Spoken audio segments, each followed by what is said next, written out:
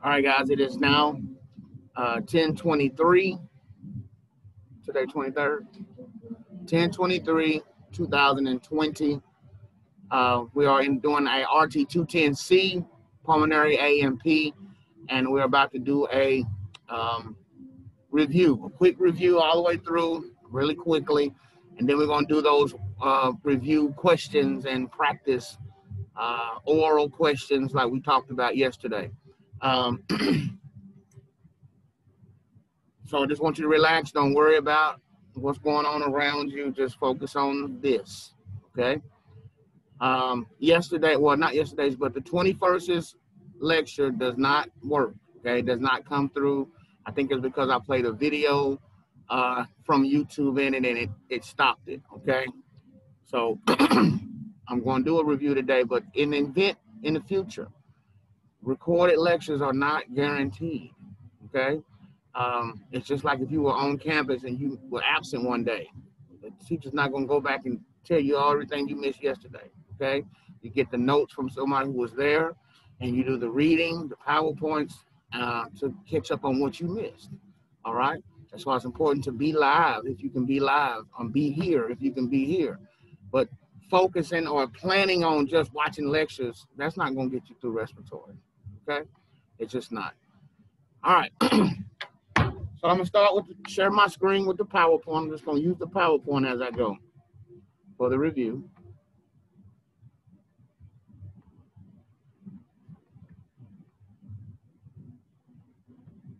All right, slideshow.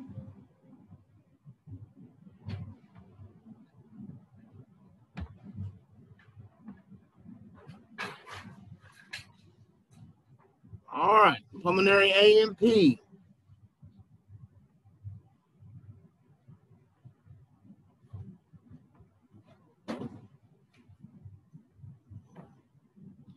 All right, so we talked about the upper airway. we said the upper airway's job is to warm, humidify, and filter gas. It contains the concha turbinates that allows for maximum surface contact. It contains the nose, the mouth, and the pharynx. And the pharynx is made up of three parts, the nasopharynx, the oropharynx, and the laryngopharynx. Uh, the upper airway structures uh, in more in depth are here. It was one of your homework assignments. The lower airway, after we leave the upper airway, we start going into the lower airway, which is, is a cadaver, a real human cadaver here that has donated his body to science. You notice here he has the thyroid cartilage, right? Then we have the trachea, okay? And then one of these rings in the trachea would be the corine, I mean a cricoid, right? It's made of different types of cartilage. The unpaired cartilage would be the epiglottis, which is inside, you can't see it. The thyroid cartilage, which is this, that butterfly shaped cartilage, okay? And then you have the cricoid. Cricoid cartilage is the only complete ring of the trachea. The rest of them are C-shaped rings. A bunch of C-shaped rings, and only one of them is a full circle, and that is the cricoid.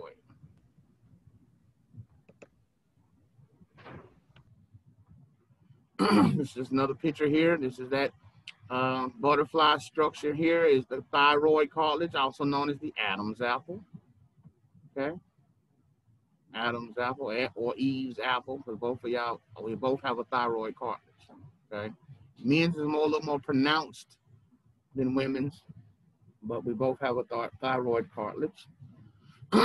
this is the trachea, right? And this is the cricoid. Cricoid goes all the way around. The rest of them are just little C shapes from here to here, like staples, from here to here, from here to here. The rest of them are like that. This one goes all the way around. That's significant. Another picture of the tracheobronchial tree by computer generated images, starting at the, what is this? The trachea, which is generation zero, breaks off into the right and left main stem, bronchus, and then the bronch, bronchi, which uh, which are the segmental bronchi, right? Then we go into the bronchioles, right? And terminal bronchioles, and then respiratory bronchioles will be way at the bottom. Okay, way at the bottom, and the respiratory bronchioles house uh, the what? What are the little sacs called? Alveoli. That's where the rest. That's where the alveoli are connected to the respiratory bronchioles. And what they do is uh, they're responsible for gas exchange. When we get into pulmonary mechanics, you're going to learn a whole lot more about that alveoli and the gas that is exchanging and the formulas that let us know what our minute ventilation, how much of this gas is going in and out in a minute, how much of this gas is going out in just the alveoli, because all of this, all of this is has air in it, right? But the conducting zones is just air that being pushed all the way down to the respiratory bronchioles. Okay? And so the respiratory bronchioles is the only place where the magic is happening. This little thin this little places right here will be the parenchyma of the lung, right? You get off the bus at the terminal and walk into the land of the parenchyma, okay? The parenchyma, and that's uh, where the respiratory bronchioles and the alveoli are housed. Okay, so we're going to know how much volume goes through the whole thing, which is the minute ventilation, and how much just is going in the alveoli. That will be alveolar minute ventilation. You also want to know how much pressure of oxygen is in that alveoli. Okay, and that's going to be what you're going to you got to find out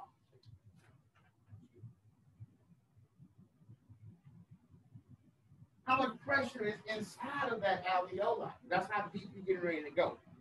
Okay? You're Getting ready to go deeper. So for instance, let me stop the share for those that are watching.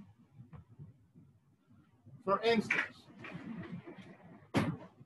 we have the parenchyma, which has the alveoli right?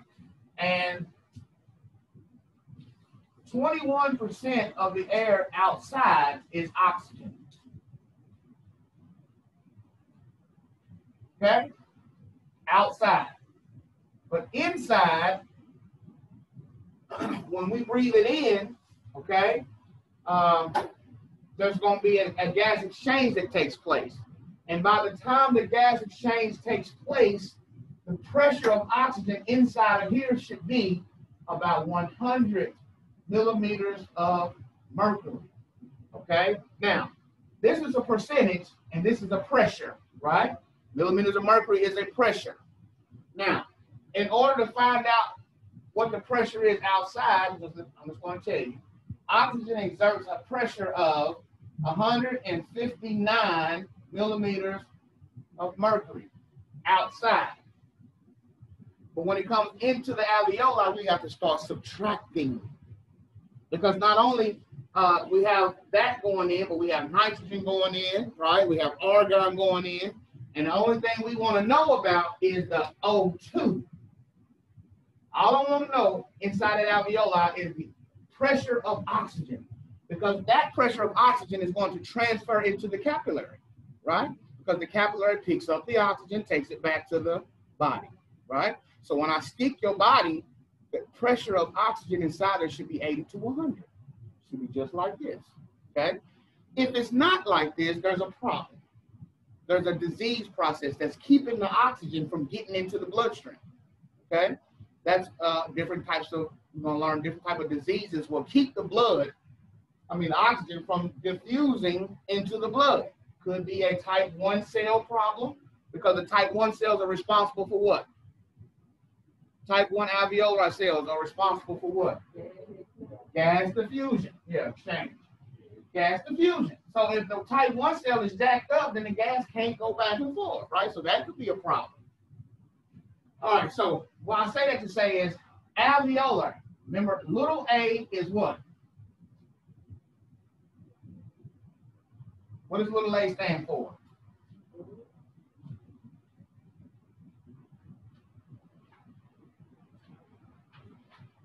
What does little a stand for? What does big A stand for?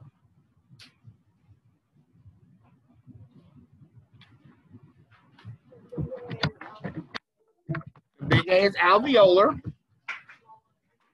And arterial. I'll tell you, you got to go back and look at these, all your sections. But you're going to start getting hit with these letters, symbols, and abbreviations. And if you still don't know what they are or have to go back and find those, you're going to be behind. Okay? Little a is arterial.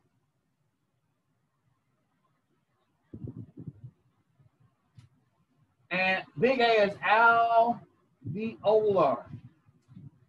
And P is what? Pressure. All right, piece of pressure or partial pressure. So I want to know when I speak your blood, I'm looking for the partial pressure of arterial oxygen. P little a O2. When I stick your artery, I'm looking for the partial pressure of arterial oxygen. That's letting me know how much of that oxygen pressure left the alveoli and actually went into the, uh, the capillary during gas exchange, the magic in the parenchyma. Okay? This number should be very close to this number, partial pressure of alveolar O2, P big A O2. You see it? Huh? Can you see? Okay. All right, so this is the partial pressure of arterial O2, and this is the pressure or partial pressure of alveolar O2.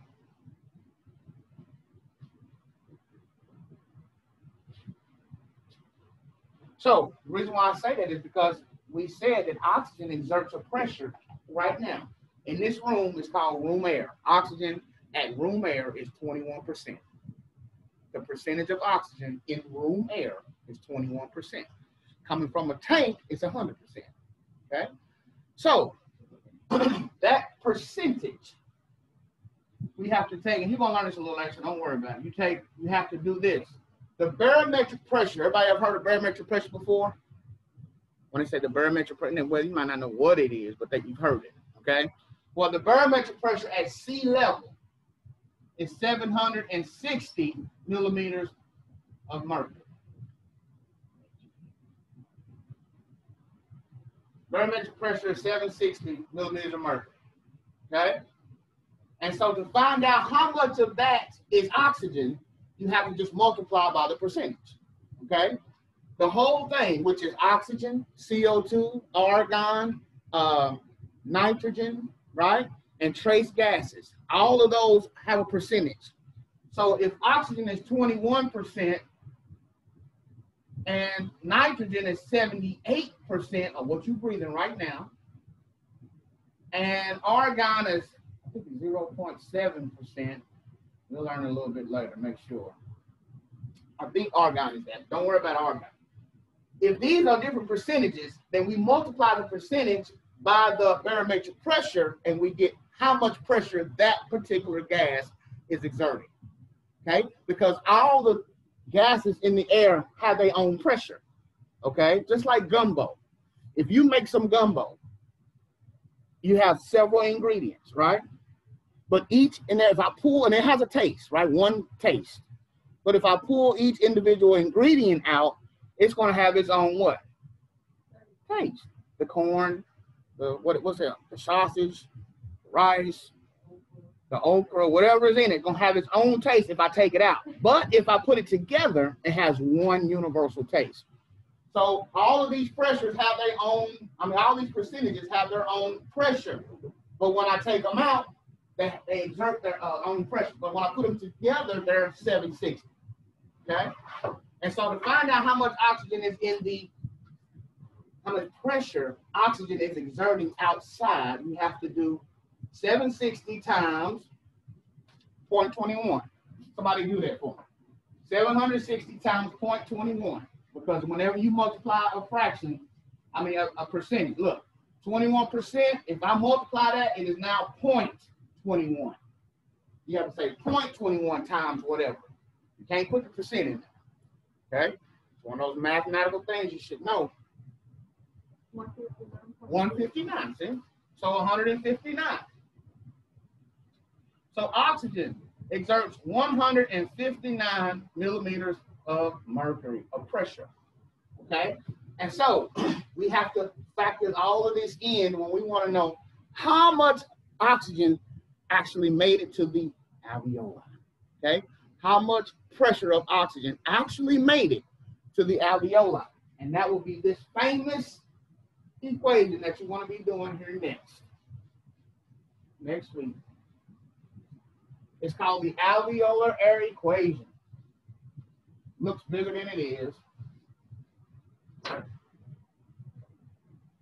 P big A O2 equals FiO2 times P bar minus the pressure of water minus the P little a CO2, which is the partial pressure of arterial CO2, divided by the respiratory quotient. That is the formula.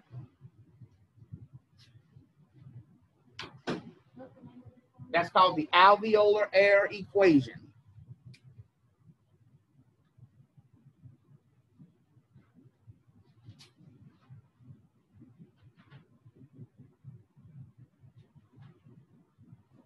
Alveolar air equation. How much pressure of oxygen is actually in that alveoli? But when we breathe in, we're breathing in 159 millimeters of mercury of it, right? But it has to be, it has water in it because the, the humidity is water vapor. You're going to learn that too.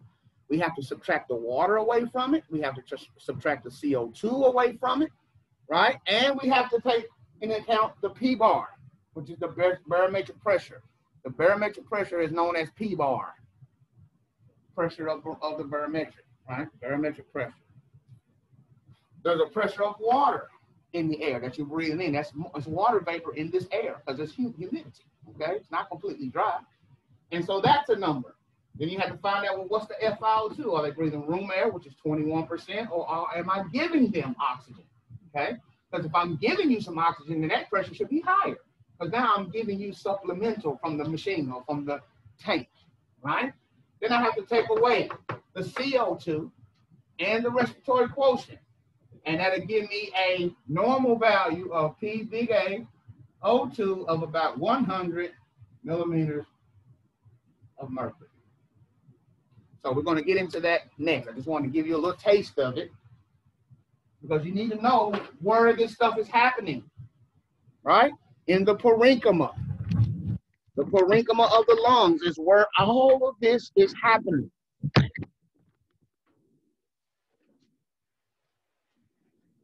Now, what I just showed you is not on this test, it's coming up next.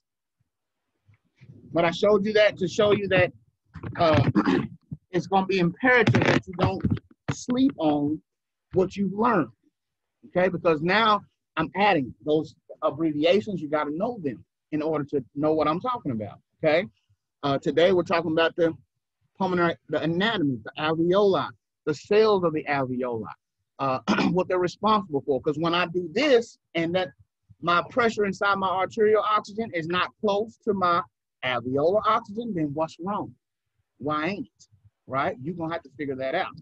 Oh, because he has this. Oh, because she has that. Okay. And if I tell you uh, this person has this or that, you can know what to expect. Okay. And so that's what therapy is, not just breathing treatments. So it's only going to get deeper. So you have to go back, master that stuff so that you can understand what's happening. Because a lot of times uh, when that blood leaves that alveoli and that pressure of oxygen is not right, then that means it didn't pick up oxygen, right? The blood never picked up the oxygen and returned to the heart without it. And remember, we said that's a right to left shunt. Blood goes from the right side of the heart to the left side of the heart. uh, without picking up oxygen is called a shunt, a right to left shunt. It didn't pick it up. The blood was there, but the alveoli was closed, right? If you go to the store with money in your pocket, but the store is closed, you go back home with money in your what? Pocket. That's a shunt. Think of shunt and shut. Shunt, shut. The store was shut, or alveoli was shut. You had the money, but if the store ain't open, you can't spend it. Okay? All right. well, let's keep going. Huh? Yeah, it was, yeah, it was, it, it paused for me. You see my thing moving around? Okay. So that's when I, I showed you all that to show you that's when we start getting further than the alveoli, knowing what's going on, how much pressure are we dealing with, what percentages are we talking about, okay? And the rest of the stuff, the rest of the gas that's in the conducting zones ain't doing nothing. It's just wasted. It's wasted ventilation, okay? I almost talking that. It's also called dead space. All of the space in the conducting zones is dead space, right? There's the gas inside those conducting zones is not participating in what? Gas exchange here. Pay attention to me now. The gas is inside of the conducting zones is not hey, not participating in gas exchange, right? So that's considered dead space, right? Also, so another another quick example of dead space would be uh, if I have this tubing right here, this for instance, and I got this and I'm hooked up to a machine. Okay? And if I'm breathing through a, through this machine and it's giving me air, right? Well, the gas, the gas that's inside my alveoli is taking place in gas exchange, right? But what about the gas that's inside of this tube? Is it taking place in gas exchange? No. It's not. Only the gas that's inside of that alveoli is taking place in gas exchange at that any given moment. So the moment that I stop or whatever, the gas is inside of here is dead space. It's just wasted. Just like the trachea, just like the left and right main stem bronchus, just like the bronchi, right? Bronchioles, terminal bronchioles. All the gas from the terminal bronchioles back to the machine is dead space. That's not participating in gas exchange. Only when it gets off the bus into the land of the parenchyma when it gets into the land of the parenchyma, then that's when we see the respiratory bronchioles, right? Which is the next generation, the respiratory bronchioles, which house the brakes or the sacs or the alveoli, okay? That's where gas is exchanging. And that's why we have minute ventilation. And then you're gonna find out what alveolar minute ventilation is. We subtract the dead space to find out exactly just what's being transpired in the alveoli. That's pulmonary mechanics coming up next. Okay. All right. This one, the picture here was just uh, some of the layers of the tracheobronchial tree, uh, the tissue layers, right? The epithelium goes all the way down, right? You have the conducting zone and the respiratory zone. Respiratory zone is the parenchyma. Okay, this is where the respiratory bronchioles start. This will be the respiratory bronchioles right here, these right here. And then these are the alveoli, okay? Up here will be terminal bronchioles, right? And bronchioles, then bronchi, right? Uh, and then left and main, left, left and right main stem bronchus, and then trachea, right? And where the trachea bifurcates left and right, this spot right here is called the carinum. So I'm not going. I'm not going. You're not going to be responsible. Which level has the ciliated cells and which level has the hyaline part? I'm not asking all. Okay, you don't have to know all that. Just know what I, what we've been teaching. Just for your information. Then of course we got into this alveolus itself, the alveolus, and more than one alveolus is alveoli, right? So this is the alveoli. All of these is the same. Three different types of pictures. You see the deoxygenated blood comes from uh, uh, back from the body, right? And it dumps into the right atria via the uh, superior and inferior what? Where's my heart? Okay, and then it um, leaves the right atrium, goes down into the right ventricle via the tricuspid valve, and then from the tricuspid valve, I mean, from the right ventricle into the pulmonary artery via the pulmonary valve, and then into the, no, no, after the pulmonary valve, I mean, pulmonary artery goes into the, the lungs. Okay, now here it is right here. This is when it entered the lungs right here, blood in. Deoxygenated pulmonary circulation. No oxygen, right? It just left the pulmonary artery and now it is into the capillary on its way to pick up oxygen in the alveoli. Okay, so it goes by the alveoli. It drops off the CO2 and picks up the what? Oxygen. That's gas exchange. When it leaves the alveoli, now it's red, right? It's oxygenated. Now it's headed back. So this is the lungs, headed back to the heart via the pulmonary veins. Okay, and they dump into the left atria. We're on the systemic side now. Left atria down through the bicuspid valve into the left ventricle, then through the aortic valve into the, and then to the, it's gonna take it to the body, that you use it, it's gonna get used up, and then it's gonna head back. Every beat, boom, boom. It came, went, boom, boom, boom, boom. That fast. And every breath you take, picking up, dropping off, picking up, dropping off. It's like a factory just going on since you've been alive. So be wary of what you put in your body. This picture here is the same exact thing. It's just a different picture. I just put several pictures on it, okay? But deoxygenated blood coming from the heart on the pulmonary side into the to the uh, alveoli, CO2, which is the used up uh, carbon dioxide is it's uh, carbon dioxide is the byproduct of metabolism. When you move and you work out your muscles and your muscles are using and burning to live and make you be able to do what you do, that's metabolism. And the waste product of metabolism is carbon dioxide, and the body has to get rid of that. Okay, so it dumps it off into the alveoli so you can blow it out. Okay, you take a deep breath in, suck in oxygen, there's gas exchange. It dumps off the CO2, picks up the oxygen, and then you, when you go out, that's carbon dioxide. What you just used, what your body just used, just came out. Okay? Now, this is a cross section of if I was to look down the top of an alveoli and a capillary beside it, right? So this picture right here is the capillary, which is this. Okay? And then what, what it is is just a cross section, like I'm looking down into this. Like if this is the capillary, if this is a capillary, this picture over here is looking down the capillary like that, okay? And then beside it is the alveoli, down on cut like a cross section, cut it, and you're just looking down into the alveoli. The type one cells are responsible for gas exchange or gas diffusion, right? If that type one cell is not working right, then the oxygen and the CO2 can't get through, right? If the oxygen and the CO2 cannot get through, that's going to be a problem. It's going to show up on my oxygen sat. It's going to show up in my ABG because I'm like, I'm sticking your blood, but the oxygen is low. Why is the oxygen low? Oh, because it never picked it up in the lungs.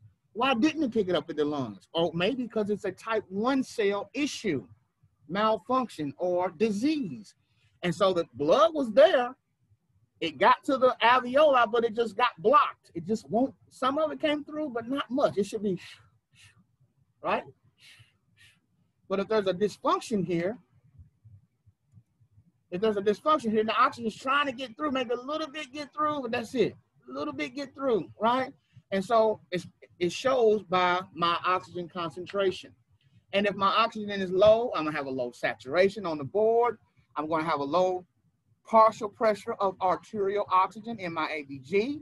And I'm also gonna look how? How am I gonna look if my oxygen is low? Blue. Blue cyanotic, right? Because cyanosis is a lack of oxygen. It's a blue color.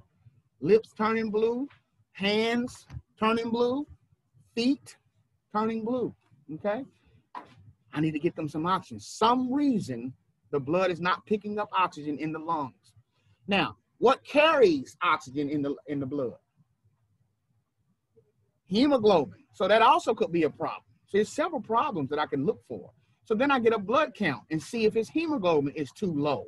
Because if his hemoglobin is five and it should be 12 to 15, that's the problem. we need to give him infused blood. Okay? Because the lungs might be working perfectly, alveoli wide open, blood flow running, but the hemoglobin is low because hemoglobin is what carries that oxygen to dump it off. And you know what I'm saying? And so if the hemoglobin is low, then the oxygen gonna be low. All right. So then we have to infuse them a, a blood transfusion, give them a pack of red blood cells. Okay, because the red blood cells have hemoglobin. Okay. Uh, so that could be a problem.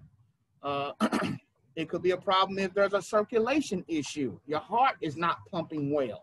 And so the heart is not pumping well, there's no perfusion. Alveoli are wide open, but the perfusion is just sprinkled around it, right? Sprinkle, sprinkle, right? And so that will be dead space. That's a dead space problem because the air is there, but it's not transpiring in gas exchange because the blood is not there. Okay. You got to have both. You got to have perfusion and ventilation. You got to have the perfusion and ventilation. So if this is my ventilation here, my alveoli, I also have to have the blood flow. I have to have perfusion. That capillary got to be perfusion, right? If it's not perfusing, then there's no exchange. Okay? So if I have an alveoli like this,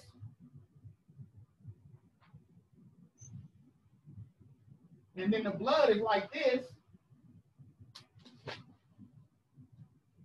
that's not a lot of perfusion, right? That's ventilation, but no what?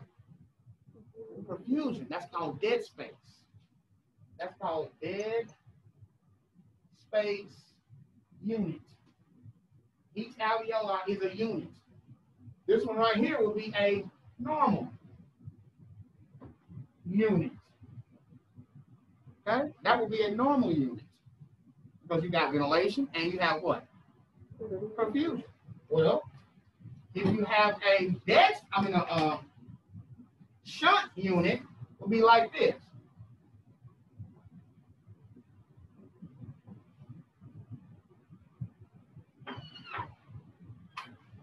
We got perfusion, but we don't have what? Ventilation. Alveoli closed. So that would be a shunt unit. And then finally, what if I have this?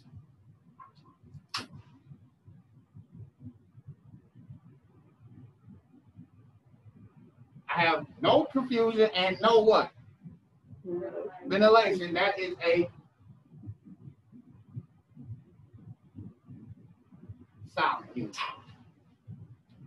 Let me make sure everybody sees that. So when you go back on, I don't know if you can see it. Can you see it on your screen? The board? Okay. So when you have a dead space unit, each alveoli is a unit. A dead space unit would be ventilation, but no perfusion. Okay? A normal unit is ventilation and perfusion equal. A shunt unit would be no ventilation, but good perfusion. See, blood went to the blood left the heart, went to the lungs, but nobody was there. So it came back to the heart, null and void. That's a right to left shunt, right? Shut, shunt, shut. Okay. And then if you have both uh, no perfusion and no ventilation, then that is a silent unit. Ain't nothing going on. Okay. No perfusion and alveoli closed. That's a very critical patient. Now, how many alveoli do we have? 300, 600 million. All right, so we got 300, 600 million units, right? That's a lot of units. Now, that don't mean that if one of them is not working, that you ain't breathing. You got 300 to 600 million of them. It could be a, list, a couple of sections that are not working. We just pop you open a little bit, right? Just like I had this, if I had this, uh, drink this, I have an alveoli that's closed up, right? Then I can hyperinflate that person, right? We give them some positive pressure, put them on a device called a hyperinflation and pop it back open. That's all we're doing, right? When it's closed up like that, we try to hyperinflate the patient and pop those lungs open, right? Pop those alveoli back open so they can be normal again, okay? Unless they're completely diseased or something, which we'll learn a little later, okay? Those units, you don't, not on this test, but you do, if you're writing them down, taking notes, excellent, because they'll show on the next one, okay? on the next lesson.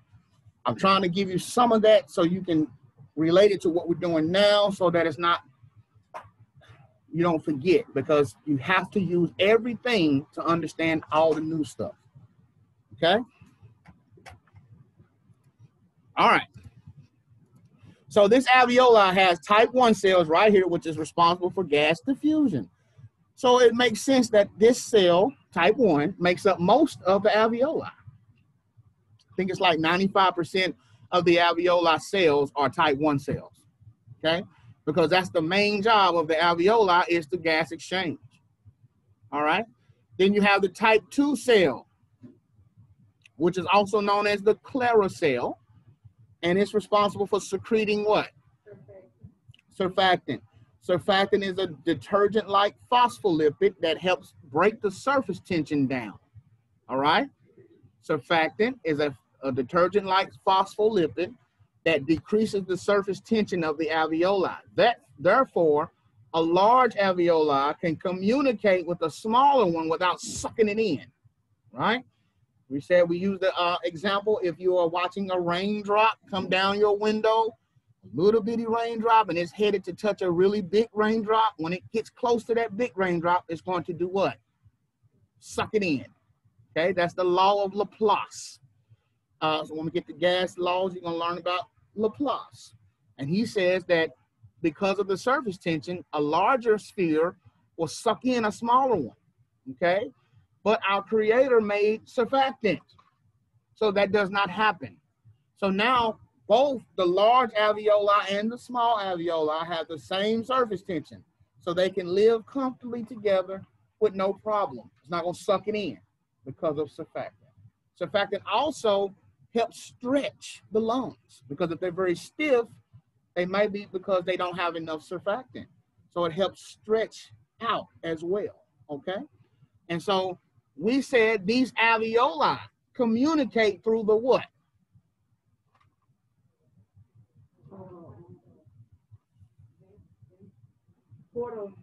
Pores of Kohn. Good. Good. You got it. You would have saw it on the test and would have known. They communicate through the pores of Kohn. And that communication is called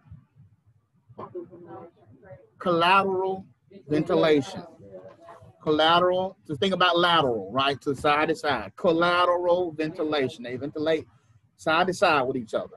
Okay.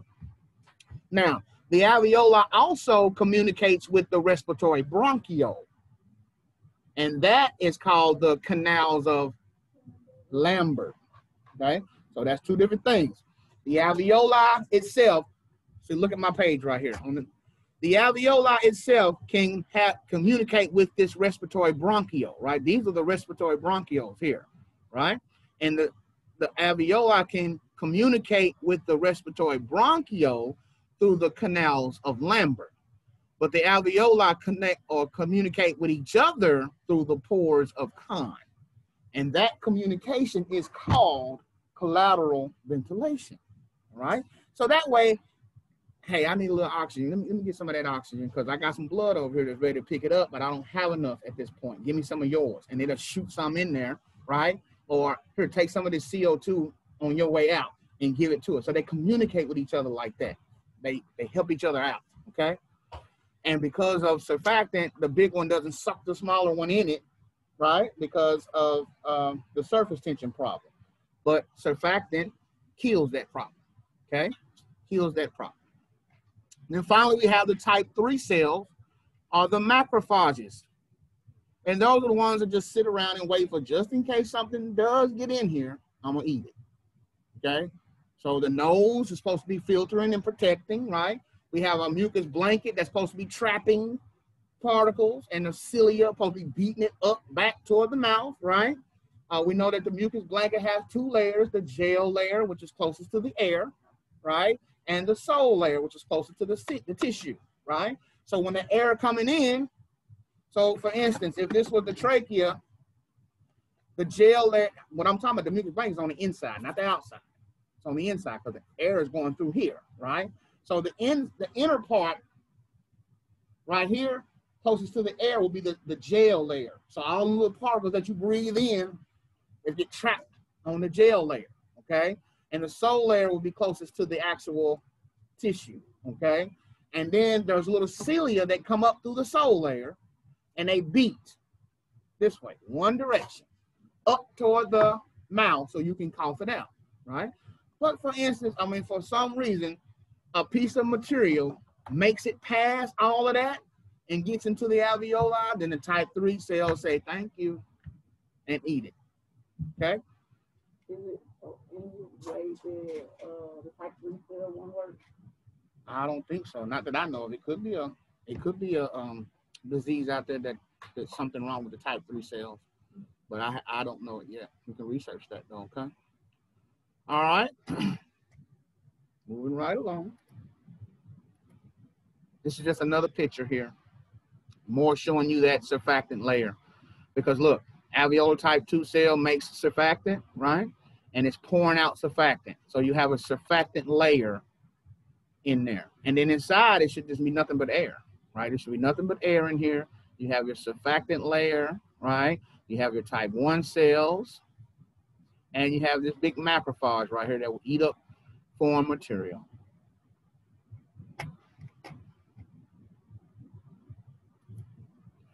Then we said the lungs and the thorax. We said the lungs and the thorax main purpose was for external respiration.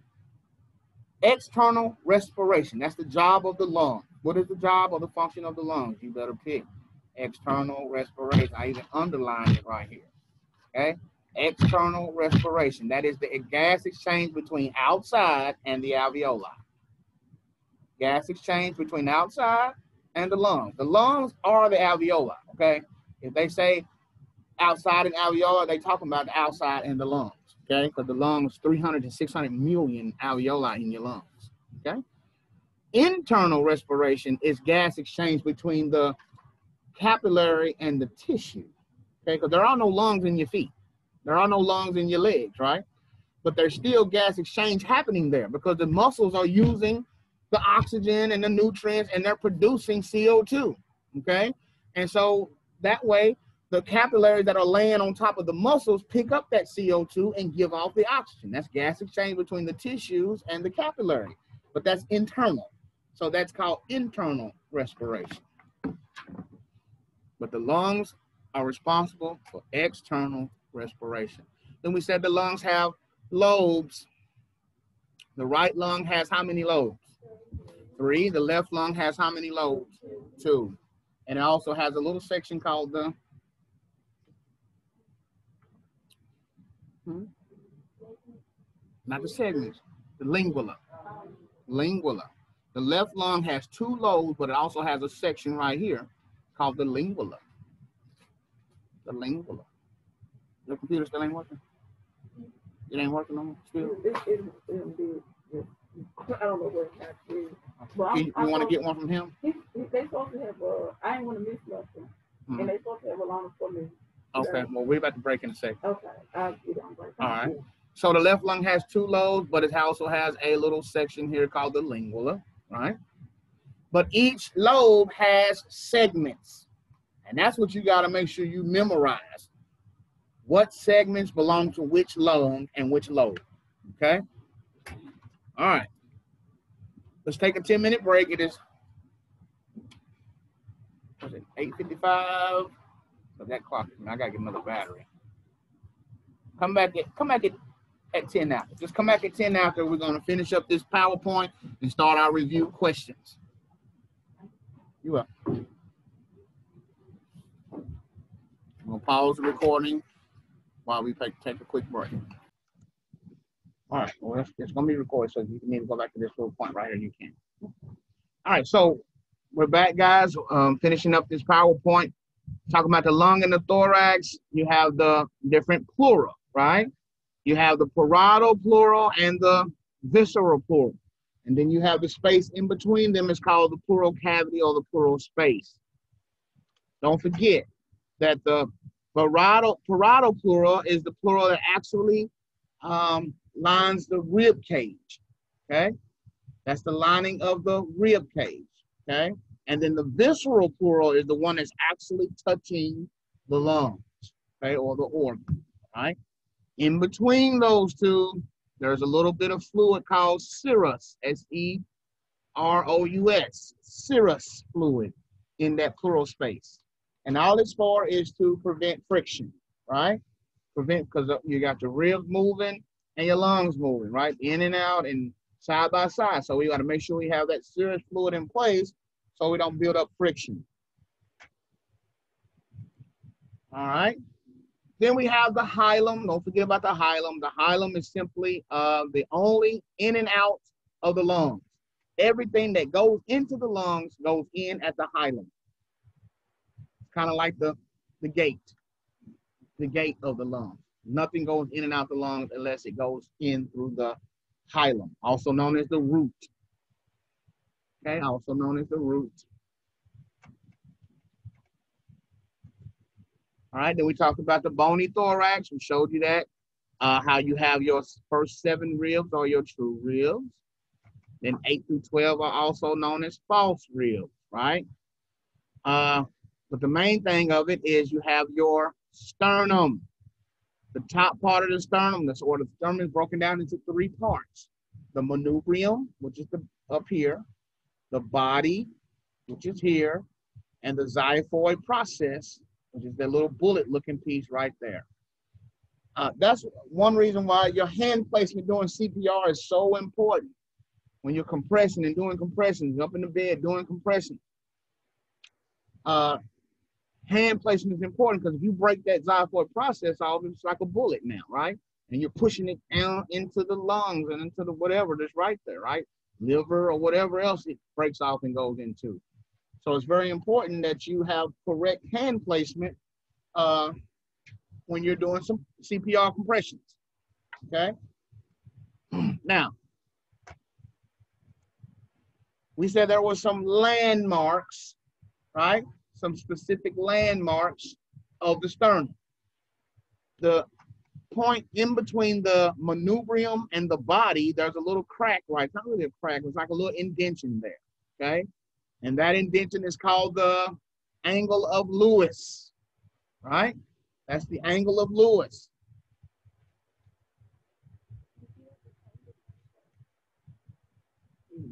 Is it the same, same one for your email, right? Like when you check your email, your school. Is not, I don't think it's the, the right place to put it, and I don't know where to put it. It might be, is it come for a visitor? No. It's just come. It's just come for. Yeah, it might be talking to What about your What about your hotspot? Can you use your hotspot through your phone? If Yeah, not, I can turn mine on. I, I can turn mine on for you.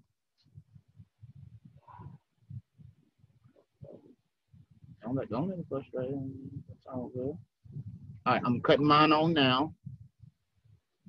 It's gonna probably say iPhone. My hotspot ID is hotspot 78.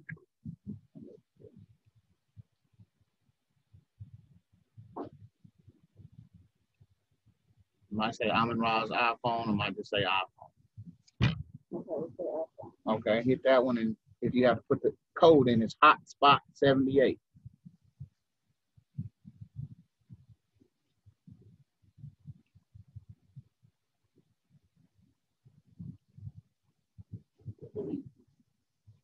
Yeah, you connected. All right.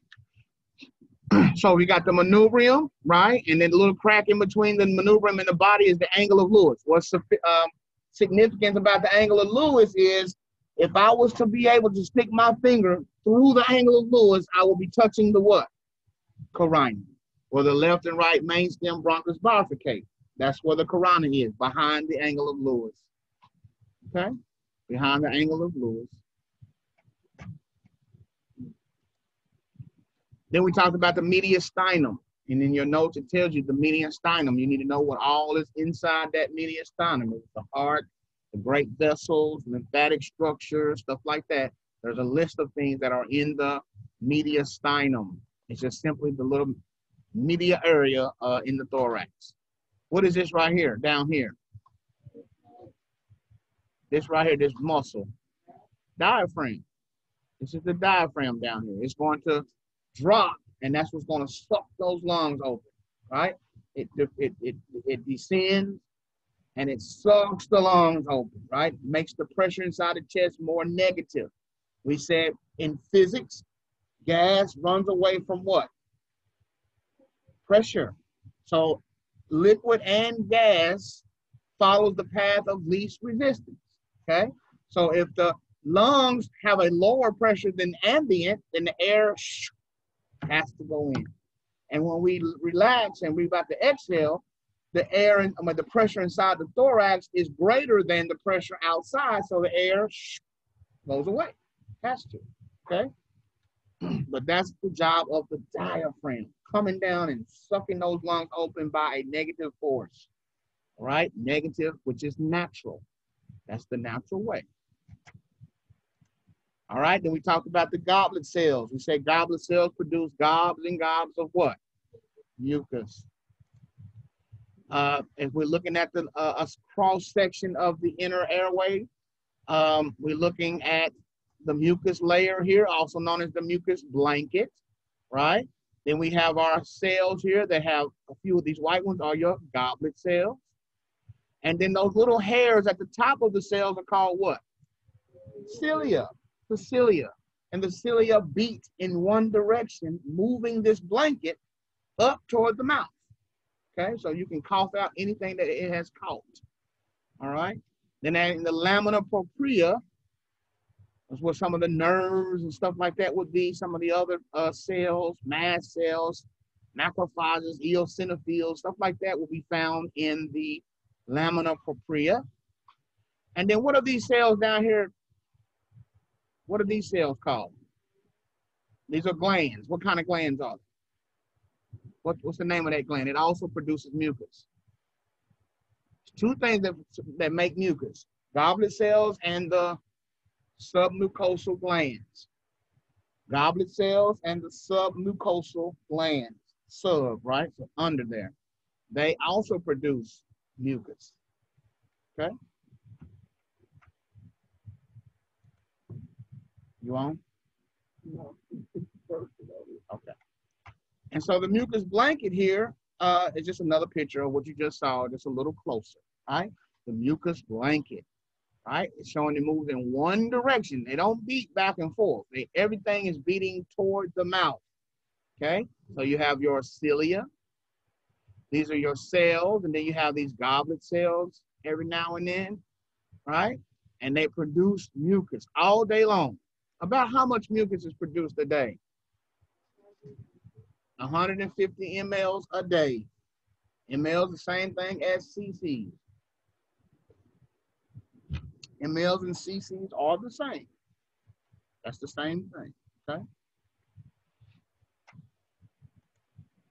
Then we started getting into the diaphragm, talking about the diaphragm. We said the diaphragm is the major muscle of ventilation.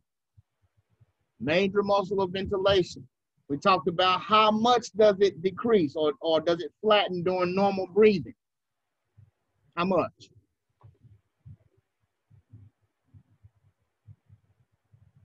Anybody remember? How much does it decrease um, during normal? Because they can go down to six to 10 centimeters. If we're breathing hard, the diaphragm can descend up to six to 10 centimeters, right? For, for labored breathing. But for normal breathing, it only descends how much? 1.5. So one and a half. Yeah. One and a half centimeters. That's normal. Uh, normal contraction of the diaphragm. Okay? Normal contraction of the diaphragm. All right. Then we get into our accessory muscles. All right, so accessory muscles. We said that we have accessory muscles in the event that, um, turn your something down, Barbara. Uh, in the event that the diaphragm and the internal and external intercostal muscles are not enough, we can now use extra muscles, right? The accessory muscles, which will be the sternocleidomastoid muscle, this big one here. And it helps by directly lifting up the manubrium, right? The sternum. Helps by lifting up that sternum, right? Trying to give you some help. It also uh, have the scalene group the scalene muscle will lift the upper ribs and the clavicle, right? Help lift the clavicle and the upper ribs, right? To help open you up. Okay? Those are some of the accessory muscles. Make sure in your reading you look at all of them and how they work. Now, don't forget the inverse relationship of the intercostal muscles. Their inverse relationship. So the external intercostal muscles help with what? Inspiration. And the internal intercostals help with expiration. That's inverse, okay? Inverse. So all we're trying to do is make the AP diameter, which is anterior to posterior diameter, wider, right? To breathe. If you can't breathe, we want to get those uh, anterior and posterior diameter of the rib cage bigger. Okay, we want to make it so that lungs have more room to fill up because evidently, what's filling up is not enough for your metabolism. It's not keeping up. Either you out of shape and uh, your muscles are using a whole lot of oxygen. See, when you're not in shape, the muscles have to use more oxygen to produce the same product somebody else does with minimal, right? So that's the only reason you breathe fast is to get more oxygen in and blow off more what? CO2. But once you become, you get your metabolism right, you get in shape, then you're not have you're not producing as much CO2 because your muscles are not having to work as hard. Okay. Somebody who has never ran a day in their life cannot go out there and run five miles without stopping. Body just not going to do it. Okay. Somebody else could run five miles and not and not be nothing for them. Get up, jog five miles, and come on back home. No problem. Get a runner high and everything. Okay. But their body is prepared for that. And so some of us have a um, not in shape. We have to have more, right? So the body's saying, "What you doing? You ain't never ran no five miles. You, what, what you doing, right? Oh, let me let me get the sternum sternocleidomastoid together. Come on, pull that sternum up. Let me get the scalene group. Now you're doing too much. I ain't want to do all this this morning, right? So now I got to do all this extra work. Heart having to beat harder, right? Now the heart said, "Well, hell, let me let me beat harder then. What, what's going on?" Okay. And so that's what the body's trying to do. It's accessory. It's, it's helping you get the breath in. Okay. So like a football player, when you get the wind knocked out of you, they lift up the chest, the uh, shoulder pads. They come and lift them up off of you a little bit because you got the wind knocked out. So I'm trying to let you breathe again, right? So that's what we're doing. Okay. That's what we're doing. Those are accessory muscles. Now, what are all the muscles we use for forced exhalation? If I'm blowing out a candle, I'm using what muscles? The abdominals. The abdominal muscles are used for forced exhalation, not just regular exhalation, but force. So you see how it's showing you right here, in the internal intercostal muscles help with exhalation, but for forced exhalation, we got to deep into or dig into these abdominal muscles here? The abdominal muscles help with force. So if I'm blowing out birthday candles, I'm using my stomach. Okay? Using, right? That's the proper way to do it.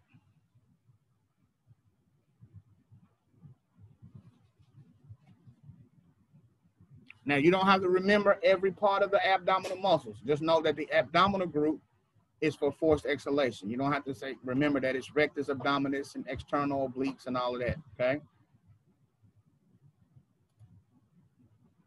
Right? This is just another kind of picture of some accessory muscles and uh, muscles used for forced inhalation.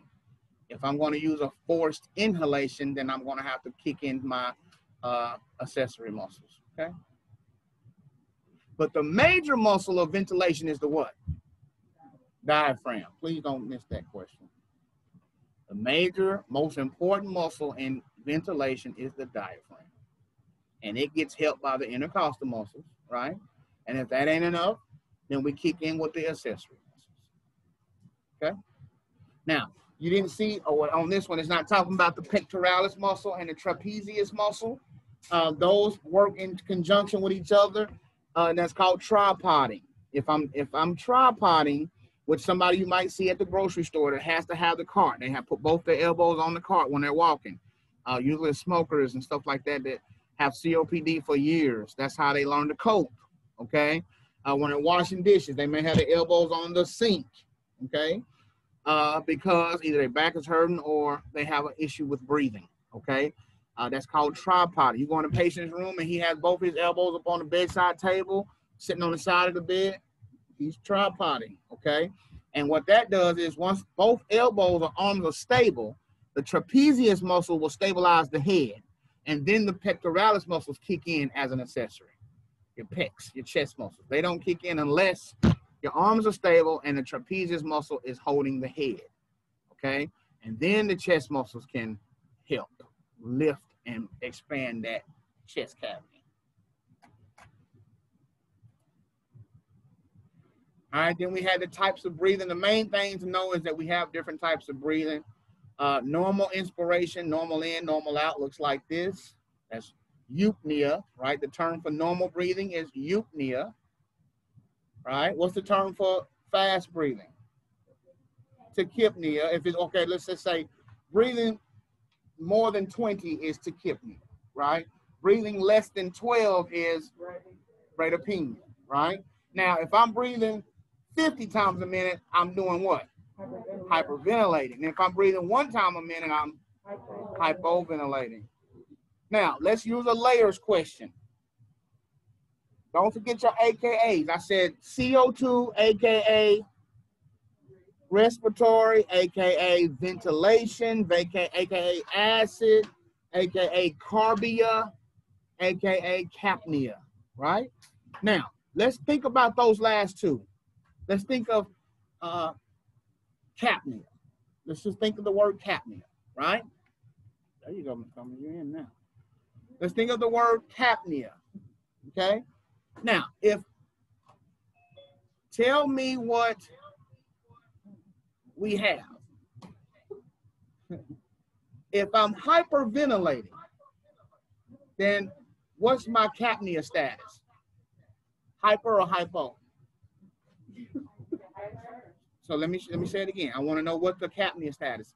Capnia is either hypercapnia or hypocapnia because capnia is CO2, right? Okay.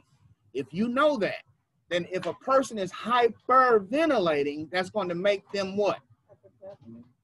Not hypercapnic. Hypocapnic, because they're blowing off too much CO2. Okay? If a person is hypoventilating, then makes them hypercapnic. Okay? All right, so keep that in mind. So hyperventilation can cause hypocapnia. All right? And hypoventilation can cause hypercapnia. All right? So that's your COPD patient, ma'am.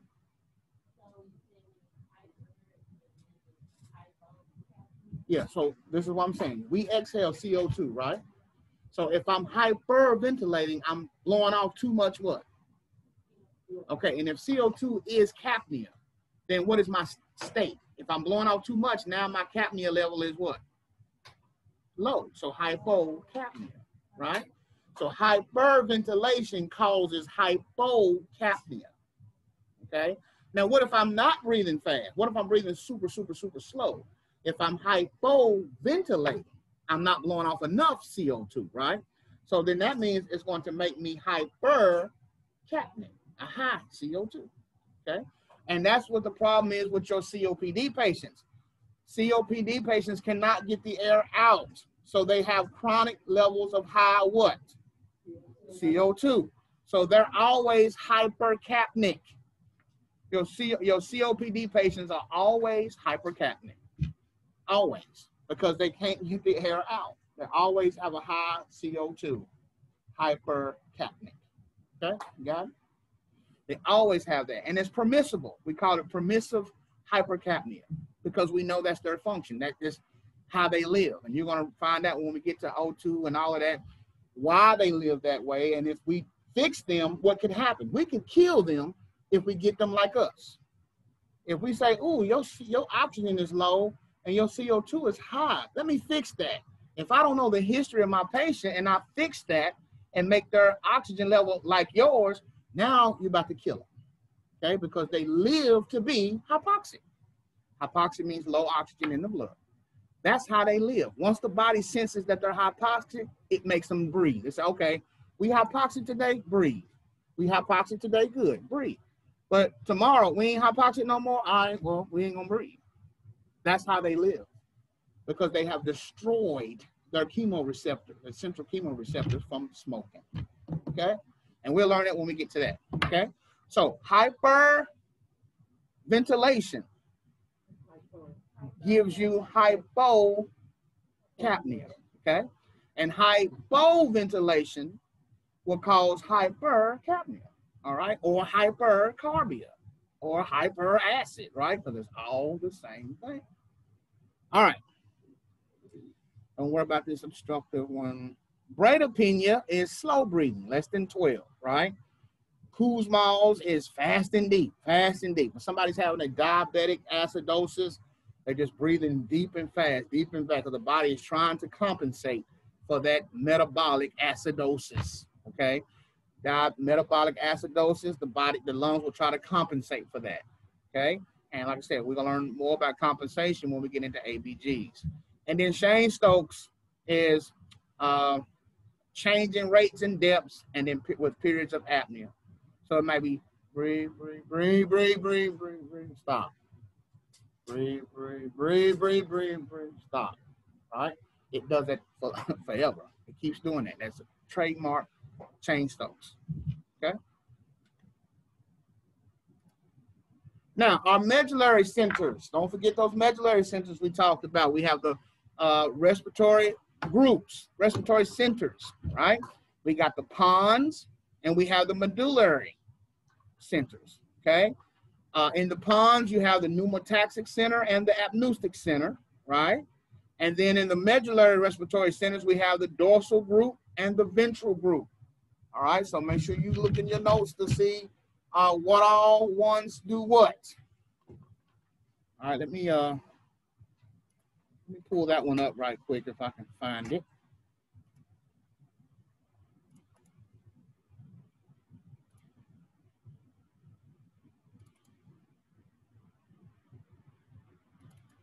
Oh,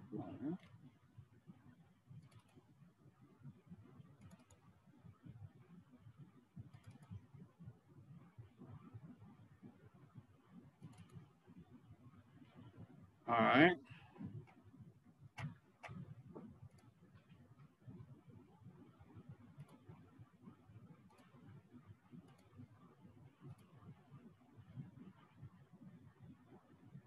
Here go those medullary centers again.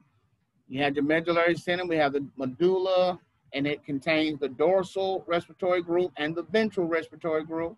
Remember, the dorsals have mainly inspiratory neurons there, and they send signals to the diaphragm via the what nerve?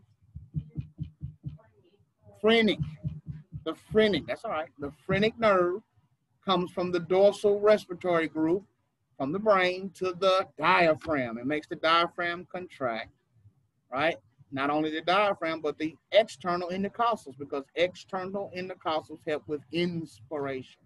The ventral respiratory groups have both inspiratory and expiratory neurons, right? And what they do is they, uh, the inspiratory neurons will abduct the vocal cords, which makes them bigger, right? Which increases the diameter of the glottis, because we said the hole in between the vocal cords, the hole that leads into the lower airway is the glottis, right? That's the hole in between the vocal cords, the glottis, all right? And so those inspiratory neurons of the ventral group, so look right here, will spread the vocal cords open, abduct them, spread them open, and increase the diameter of the glottis, okay? And then uh, it also will innervate the diaphragm and the external intercostals. Then the expiratory neurons of that group send impulses to the internal intercostals and the abdominal muscles because abdominal muscles are used for forced exhalation and the internal intercostals are used for regular ex exhalation, okay? Abdominal muscles are for forced exhalation and the internal intercostals are for regular exhalation. All right. Then you have those pontines. The pontines are on the uh, above the medulla on the brainstem. And we talked about the video yesterday, talked about the apneustic center and the pneumotaxic center. Apneustic center allows for a prolonged inspiration. It makes you be able to inspire longer for a yawn or a sigh or whatever it is you want to inspire long for, right? it lets it do that. But the pneumotaxic center is checks and balance. All right. So when you start inhaling, it can only inhale so far, right? The pneumotaxic center will send a signal saying, hey, that's enough. But what tells the pneumotaxic center that that's enough? How does the pneumotaxic center know when enough is enough for that lung? When that lung is just opening up, how does the pneumotaxic center know that that's enough? What, there's some receptors on the lungs. What are those receptors on the lungs we talked about? Herrmann-Breuer, the Herrmann-Breuer reflex, stretch receptors. So once that lung starts stretching, the, the stretch receptors say, hey, that's enough, right? So the Herrmann-Breuer reflex are the stretch receptors that send a signal to the pneumotaxic center saying that's enough.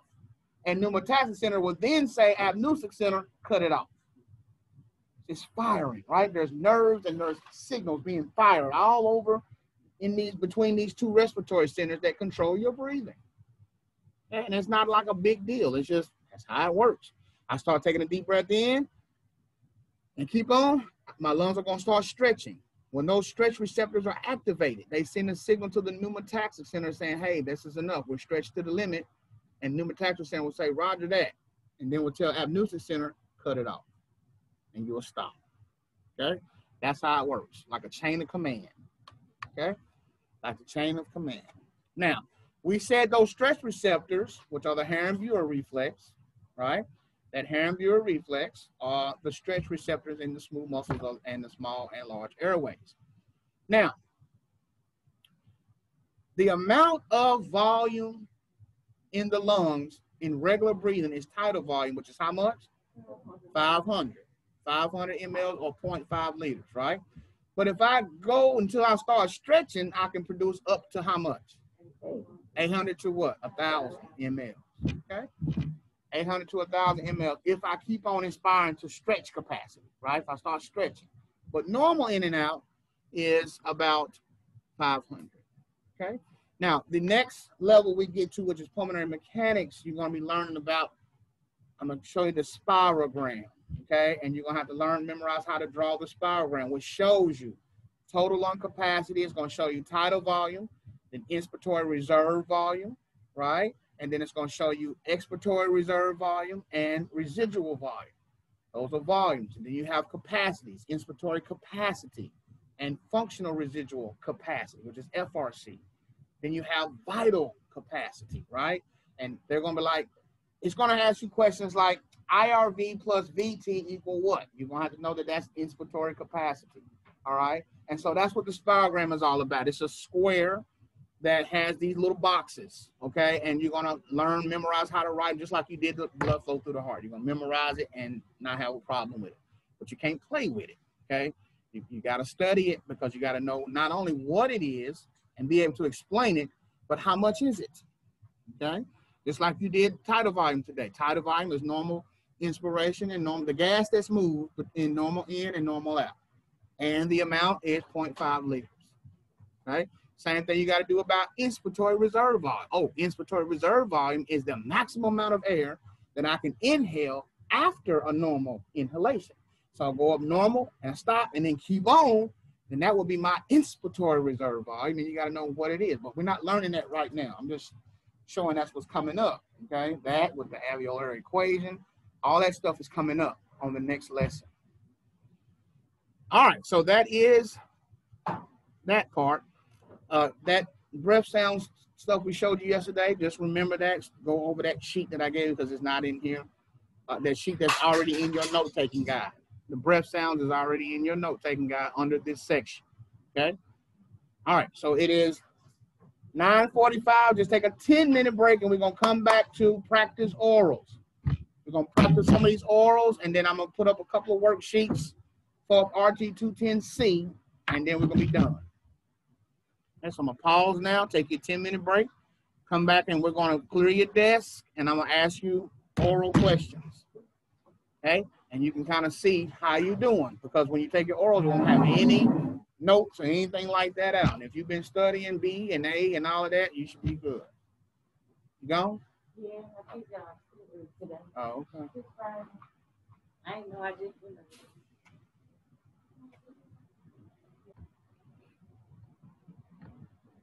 Okay, guys, at this point, I'm going to pause the video, uh, but I'm gonna leave the Zoom up, but I'm gonna pause the video and we're going to start uh, after break oral question practice. Uh, oral question practice. So I will record while I'm doing that. You'll hear me ask questions and you'll hear me uh, their uh, students answer questions and you know go from there, explain different things. Uh, but that's what we're going to do next. After that, I may put up a uh, alternate test or alternate quiz or something and just let you answer those questions as classwork. And then we'll see you off and you'll be practicing over the weekend, preparing for Monday's exam. After the exam Monday, we were going to jump right into pulmonary mechanics. And it's a lot to pulmonary mechanics, so have this together.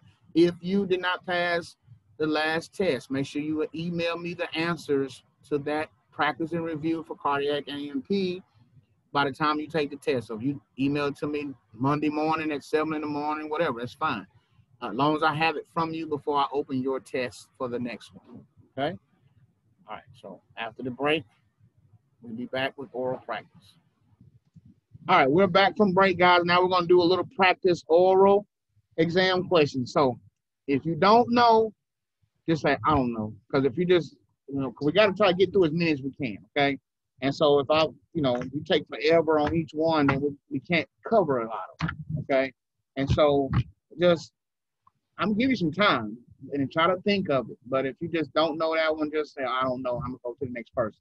And I'm just gonna go down the line like this. So it'll be one, two, three, four, five, six, seven. Okay, and then back around. Okay, shuffle them up. These are only questions from um, 210A, B, C. Okay, that's it. When we do, when we get to D and finish that, then I'll add D to the stack. Switch them up and practice that way. And I add E to the stack and practice that way. It might not be as much because I take some of them out, but it'll be a mixture. And just keep adding to it. So that way, when you get to the end, you have practiced some of these, right? And I say, don't try to memorize these questions because memory of. But these are the exact questions you're going to get on the oral. I'm not giving you another whole set. Okay, these are the questions. So if you try to memorize, it ain't gonna work because you don't know which ones you're gonna be asked, and you're gonna be nothing in front of you. I mean, unless you got a photographic memory, or telepathic memory. You know what I'm saying? You're not hurt. You're not helping yourself. But when you get out there in the field, it's gonna, it's gonna, it's gonna show. And when you take the board exam, you definitely ain't gonna have nothing then. So you know, you want to pay that five hundred dollars or four hundred dollars every time you take that test. That's on you. Because Concorde will pay for your first board exam, which is four hundred dollars. Concorde pays.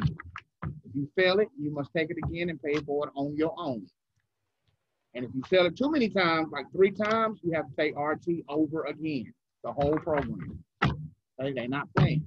So cheating to get, I'm just going, to you know, I'm going, it's not going to do nothing but hurt you. You paid $40,000 for the program and you got to take it. All right, so that's wasting time.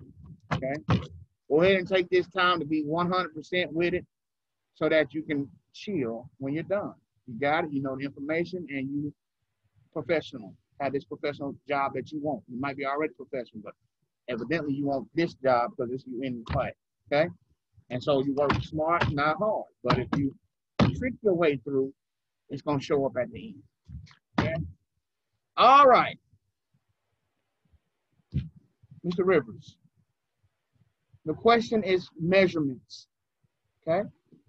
10 torr equals how many millimeters of mercury? 10 torr is how many millimeters of mercury?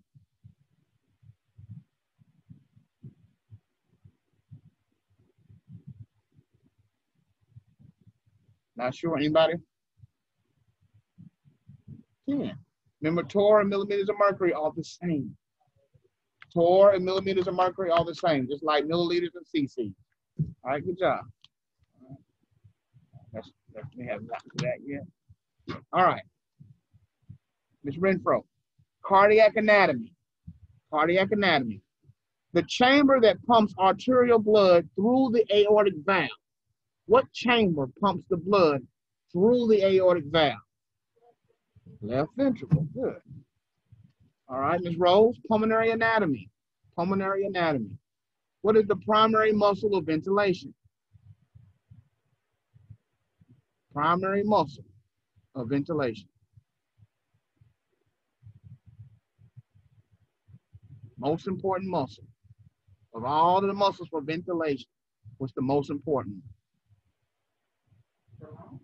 No, it's an organ. Anybody else? Diaphragm. I know you knew that. Diaphragm. Don't be nervous. All right. Ready? Oh no, it's you. It's gonna be you. Thomas. Uh, you Thomas Scott, and you're Thomas. Okay. I think I said Scott to you earlier. I'm sorry. All right. Ms. Cummings, pulmonary anatomy. What are the primary sources of mucus? What two structures make mucus?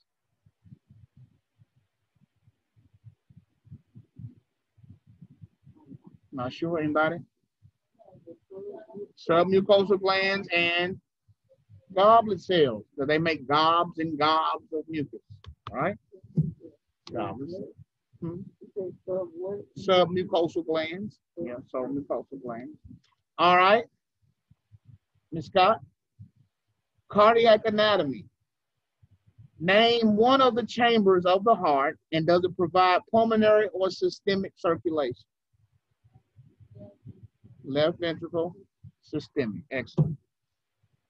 All right, you ready, Ms. Fleming? Describe the electrical conduction pathway of the heart. The electrical pathway. SA no, AV no, bundle of His. Before those, left and, yeah, left and right bundle branches and then the, excellent. All right. Know that one, yeah. All right, Ms. Thomas. Thomas, what is the function of arteries? What do arteries do? Huh? Then we got arteries and we have veins. The arteries do what?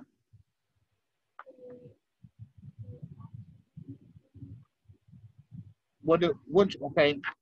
The arteries carry blood which way? To the heart or away from the heart? Huh? Away from the heart. Arteries carry blood away from the heart. Veins carry blood to the heart. All right. So rivers. Terminology. The directional term anterior means what? In the front. Ms. Renfro, cardiac anatomy. Define systole.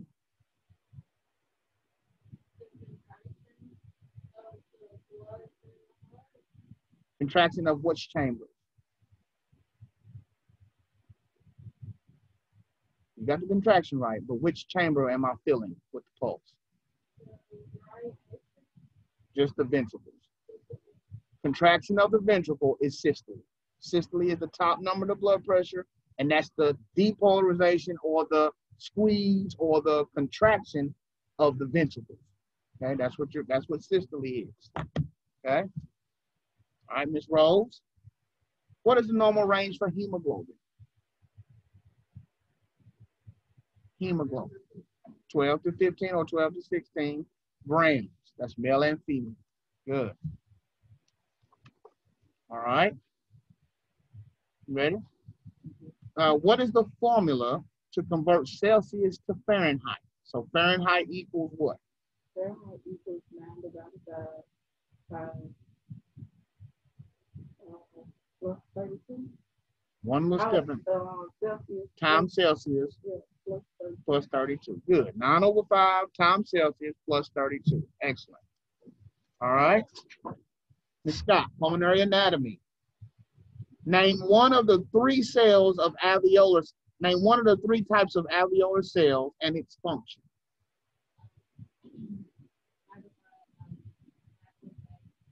Mm-hmm.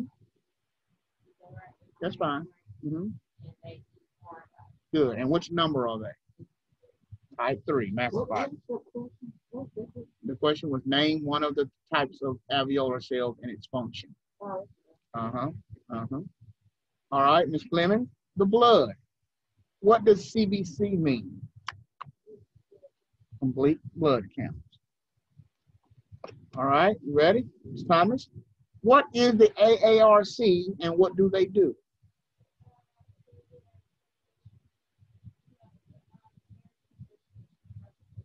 Good.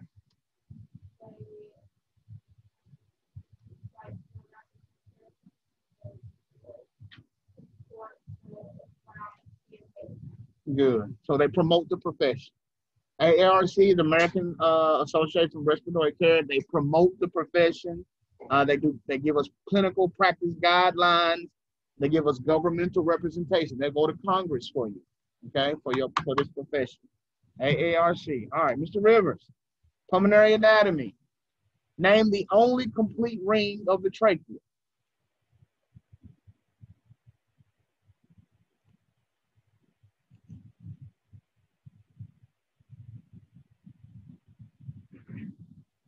Only complete ring of the trachea. What's it called?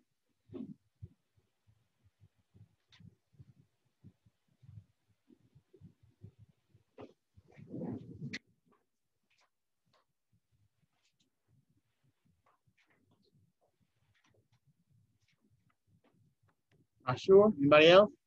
Cricoid. You just say it out. Whenever somebody doesn't get an ask, you just say it. That's fine. Cricoid. You got it? Cricoid cartilage. Ms. Renfro, terminology. What does PRN mean? As needed. Ms. Rose, cardiac anatomy. Define diastole of the good, repolarization or relaxation of the ventricle. All right. Cummings. So Flemings and Cummings. Okay. I keep wanting to mix y'all up. Pulmonary anatomy. Name the lobes of the right lung. The lobes, not the segments, just the lobes. Right, upper, Mm-hmm. lower, right, middle lung, Good. right, lower. lung. Excellent. Ms. Scott, what are the three types of fluid in the body and where are they found?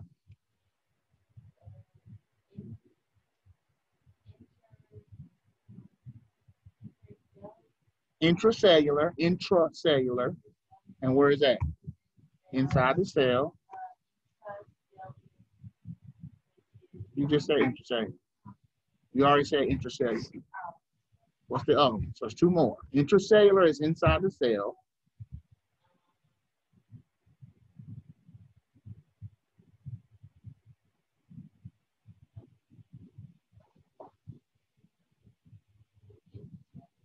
Mhm, Interstitial. Where is that? In between the cells. And then finally, intravascular, and it's inside the blood, is inside the what? Vessel. So intravascular is inside the vessel, interstitial is in between the cells, and intracellular is inside the cell. That's the three types of fluid in the body. Okay? All right, Ms. Fleming, cardiac anatomy. What is sinus bradycardia? Sinus bradycardia.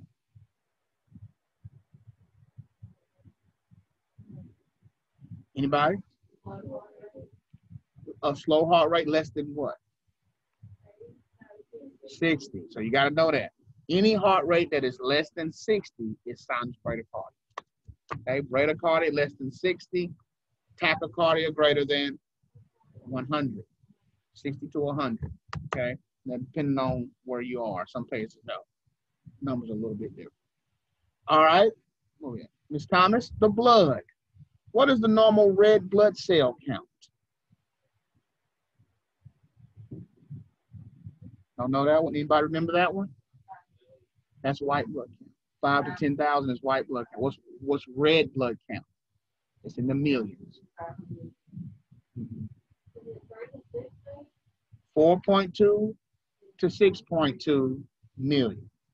Red blood cells, 4.2 to 6.2 million. Of course, there's more men than there are women, but both of those combined is 4.2 to 6.2 million. Okay? red blood cells. All right, Mr. Mr. Rivers, pulmonary anatomy. Define the parietal pleural. The parietal pleural.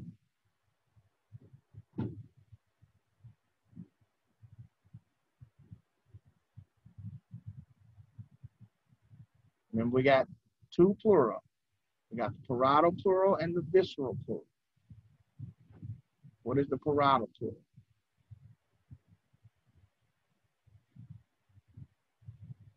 Anybody? On the organ? The rib cage, the uh-huh. lining of the actual rib cage. So it says outside lining that covers the thorax. Okay, it covers the thorax. And this, this, the, this one, The parietal parietal on the real. and visceral on the lung. Yeah. So as I said, Mr. McCarthy makes the best barbecue parietal ribs. Huh? No, the, the visceral pleura is the one, is the lining that covers the organ. So the lung itself has a little lining called the visceral pleura. And the rib cage, inside the rib cage is lined with the parietal pleura. Okay? All right. Ms. Renfro, name the segments of the right upper lobe. Right upper lobe has three segments. What are they?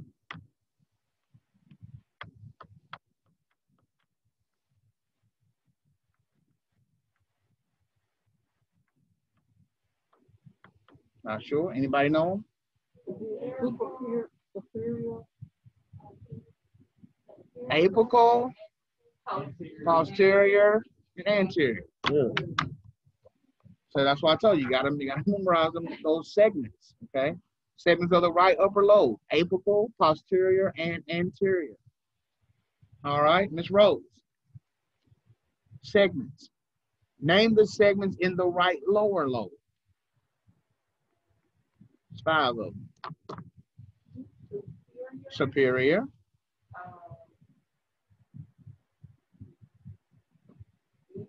medial basal,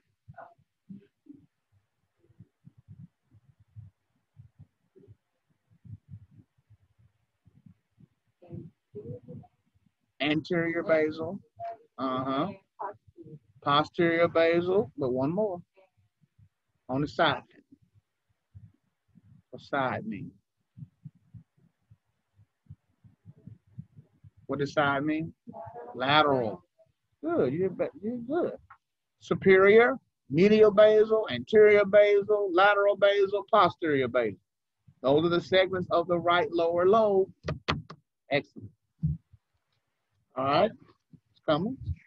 Terminology. What does SOB mean? Shortness of breath. I'm. Scott.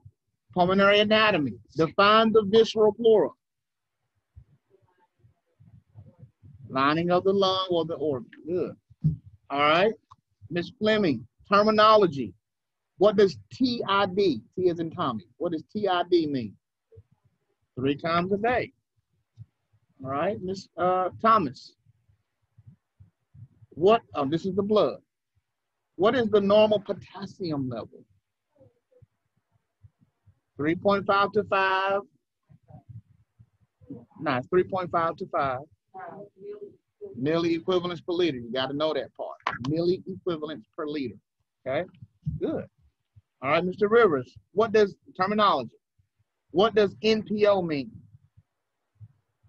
When a patient is NPO, they usually have it before surgery. When I'm gonna have surgery the next morning, I'll make them NPO that night. Not eat, nothing by mouth. Nothing by mouth. PO means by mouth, right? All right, good. Ms. Renfro, the blood. What is the normal white blood cell count?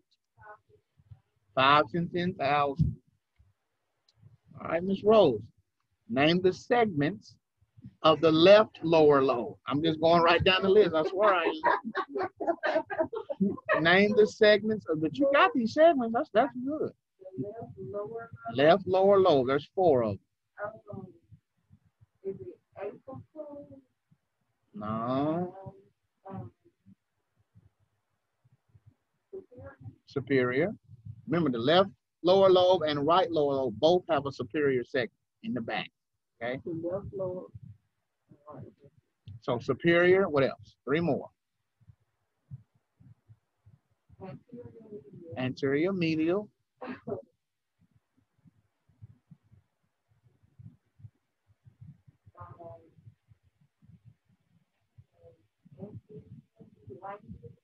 No.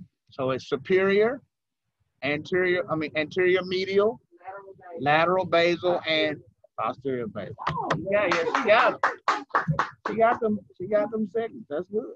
That's how you have to be able to do these seconds, guys. Because not only do you got to know them, because when we get into drainage, I say, how do you drain the superior segment of the left lower lobe? How would you face your patient? They need to be prone because it's in the back. But if you don't know what the segments are, nothing, you have no idea to drain it. Okay? All right. Uh, it's coming. Pulmonary anatomy. What is the purpose of the gel layer? On that mucus blanket, there's a gel layer and there's a sol layer. What's the purpose of the gel layer?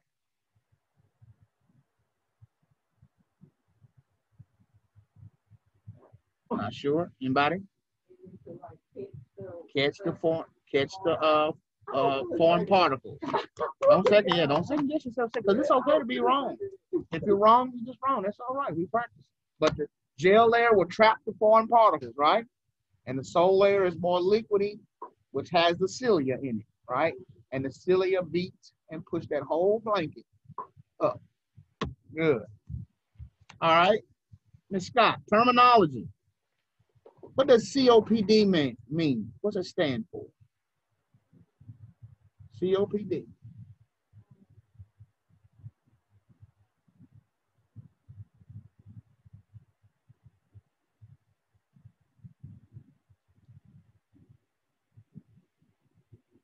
We didn't really talk about it much, but it is one of those and one of those acronyms on that one of them pages that you have in your notes for 210A. Okay. Yeah, disease. Chronic obstructive pulmonary disease. But if you said disorder, they would have gave it Okay, got it? Chronic obstructive pulmonary disease, COPD. And COPD has C-based diseases. You're going to learn all the diseases that are encompassed in COPD. Okay, we'll learn it later. All right. Ms. Fleming, pulmonary anatomy. What nerve stimulates the diaphragm? Don't know. Anybody remember? Phrenic, the phrenic nerve. Yep, the phrenic nerve sends the signal from the brain to the diaphragm to contract. All right, good. All right, Ms. Thomas, terminology. Well, we don't do MDI. I don't think we talked about that one yet. That's coming more in, in uh, pharmacology. MDI is the little pumper. It's called a metered dose inhaler. I'm gonna give you another one. All right. What does the NBRC do? And what does it stand for? National Board for Respiratory Care, NBRC okay? And they're responsible for testing. That's all you gotta know. All right, that's where you go sit before when you take the board exam. It's the NBRC. All right, all right, Mr. Rivers, pulmonary anatomy. Okay, why does aspiration occur mostly in the right lung? So if you something go down the wrong pipe, why does it usually always go in the right lung instead of the left?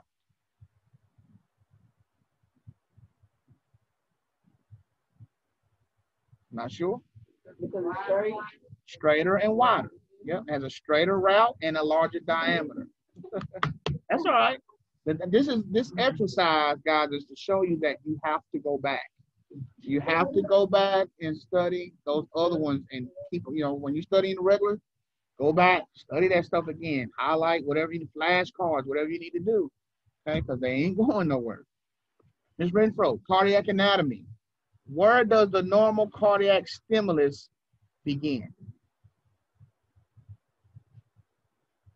The stimulus. So we talked about the electrical conduction. Where does it start? The stimulus start. SA no.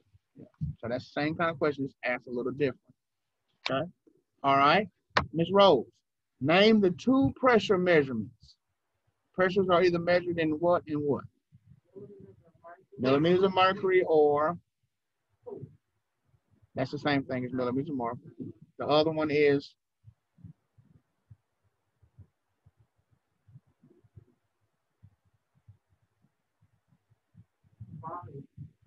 centimeters of water.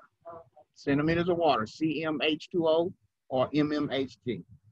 So the two pressure measurements that we use pressure, measure pressure with, millimeters of mercury and centimeters of water. Okay? Millimeters of mercury are usually inside the body, and centimeters of water are usually pressures that we generate. So if I give you some CPAP, right, it's usually eight centimeters of water, 10 centimeters of water, whatever I'm adding pressure to you. Mm-hmm. But pressures like in the vessels and stuff like that are millimeters of mercury. Okay, that's one way to kind of remember. All right, Ms. Cummings, pulmonary anatomy. Pulmonary anatomy. Define pulmonary surfactant. What is pulmonary surfactant?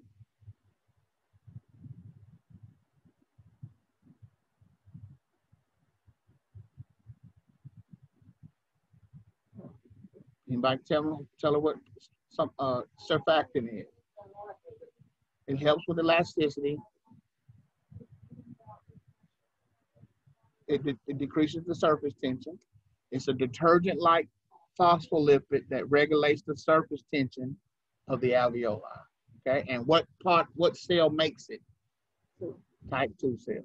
Type 2 cells of the alveoli produce surfactant. And that surfactant is like a soapy-like liquid that decreases the surface tension of the alveoli.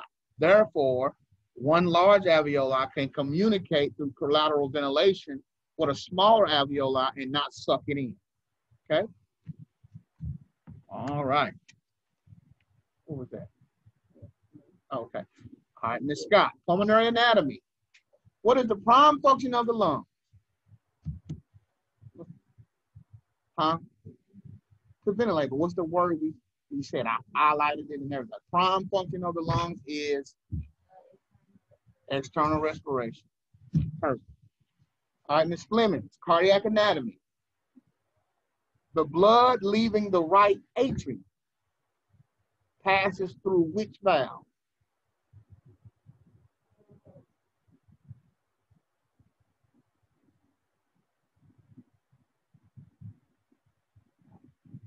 What is it?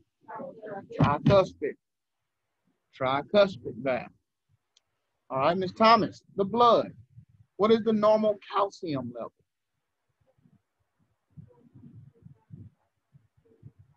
Mm-hmm. Milliequivalents per liter.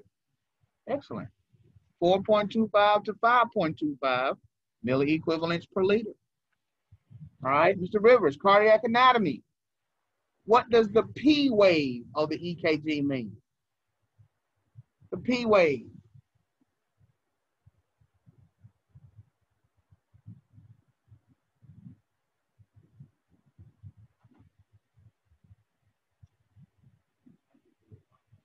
Huh? Not sure? The P wave. We got P, QRST. P, QRST. So the P wave is what? Is what? Atrial. Atrial depolarization. That's the contraction of the atrium. So what happens is the atrial contract, and then the QRS is the ventricle contracts, and then the T is when the ventricle relaxes. Okay. So the P wave is atrial depolarization or atrial squeeze or atrial contraction. And the QRS is the ventricle depolarization, AKA squeeze or contract. And the T wave is when the ventricle repolarizes or relaxes. Okay? All right. Ms. Renfro, terminology. What does stat mean? Now, immediately. Okay? Immediately. All right, Ms. Rose. Segments, I'm playing. the blood. The blood. What is the normal chloride level? Chloride.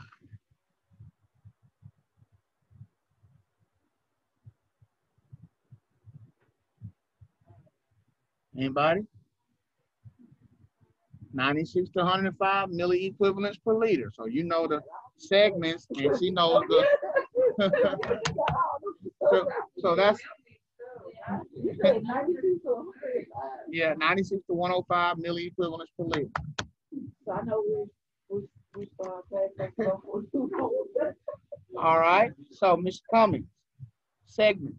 Uh-huh. Name the segments in the left upper lobe. The left upper lobe has four segments. What are they?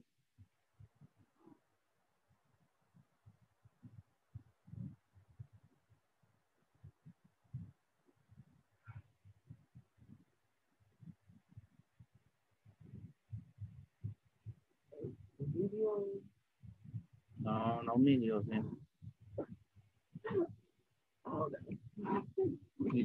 Anybody else know? Anybody? Anterior? Apical posterior. Inferior lingular. No. Superior lingular. So here they are. The segments in the left upper lobe. Apical posterior, anterior, superior lingular, and inferior lingular. Right? All right. Oh, yeah. Ms. Flemings, what's the formula to convert Fahrenheit to Celsius? Celsius. Oh, I'm sorry. I'm sorry. Okay. What is the uh, what is the formula to convert Fahrenheit to Celsius? So Celsius equals what? Not over five. There you go. Uh-huh. Not Celsius. With, Fahrenheit, that's all right. Excellent. 5 over 9 times Fahrenheit minus 32. But don't forget, the Fahrenheit minus 32 is in parentheses. You must do that first in order to do it right. Otherwise, it's going to be wrong. Your answer's going to come out wrong. All right, now Miss Flemings. Oh, we don't. We haven't done that yet. Cardiac anatomy.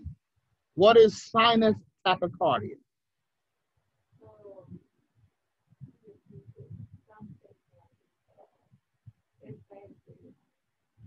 Tachycardia. Okay. Heart rate greater than greater than 100. Excellent. All right. Oh, not got that one yet.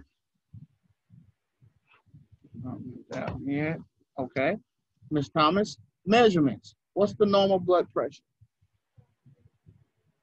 120 over 80 what? Millimeters of mercury or torr. Excellent. All right, Mr. Rivers, pulmonary anatomy. Does internal or external respiration happen in the lungs? External. Renfro, terminology. What does the NBRC mean? What does it stand for? NBRC. What does it stand for? There you go. All right. Miss Rose, the blood. Give us four purposes of the blood. I got six of them on here, but just give me four. Four responsibilities or the purposes of the blood. What do we say the blood? All the things the blood does. Not sure? Okay, anybody got one? Okay, so uh, transport respiratory gases. Remove the waste. Gives nutrients to the cells. What did the platelets, what did, uh, huh? Prevents clotting, right? So protects uh, and then circulates the soldiers, right? Circulates the fences. And then also finally electrolytes. Okay. Purpose of the blood transport respiratory gases, circulate the defenses, give nutrients to the cells, remove waste from the cells, uh, help with clotting and electrolytes. That's the blood. Okay. That's the blood. All right. Um, Ms. Cummings, the blood. What is the normal sodium level? Normal sodium.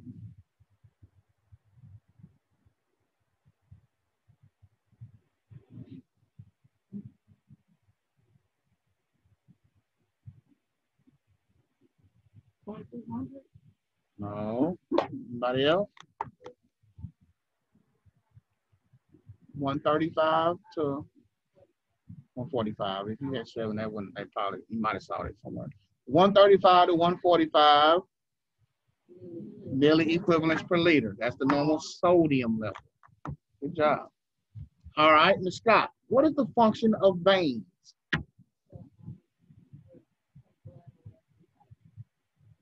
Away from the body, yeah, to the heart. Okay. Yeah, you're right. It takes away from the body toward the heart, but I always say carry blood to the heart. Okay. All right.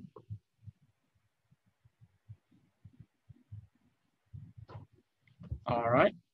Uh, Ms. Fleming, cardiac anatomy, almost done. Down to this from what we started with. You're doing yes, excellent.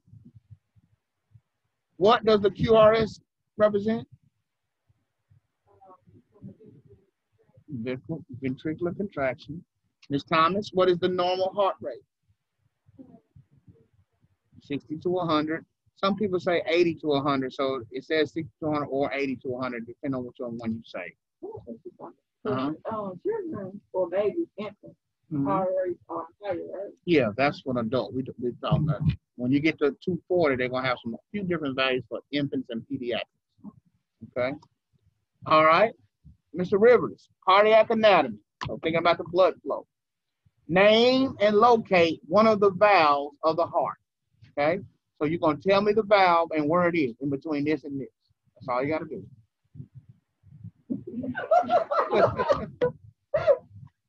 Name one of the valves. So just give me a valve of the heart. Okay, tricuspid valve in between what two? Uh,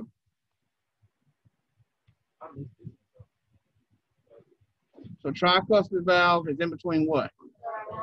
Right atrium and the right ventricle. Okay. Any you know another valve? What about the aortic valve? The aortic valve is in between what?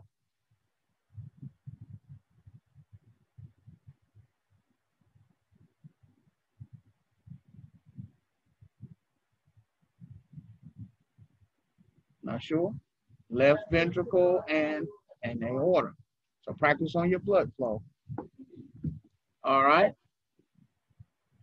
Ms. Renfro, pulmonary anatomy. Define the cilia.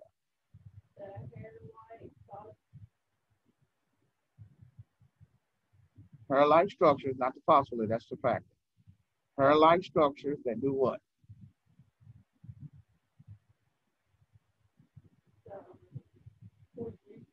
Pierce the mucus blanket of the escalator. Hair-like structures on top of the cell that push the mucus blanket, right? They beat in one direction moving the mucus up the respiratory tract. All right, Miss Rose, pulmonary anatomy. What's the top of the lungs called? This little point here. What's that called? The apex or apices for both. Good. All right. Miss Cummings, what's the normal magnesium level?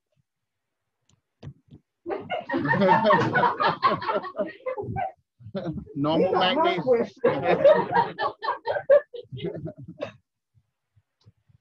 Um,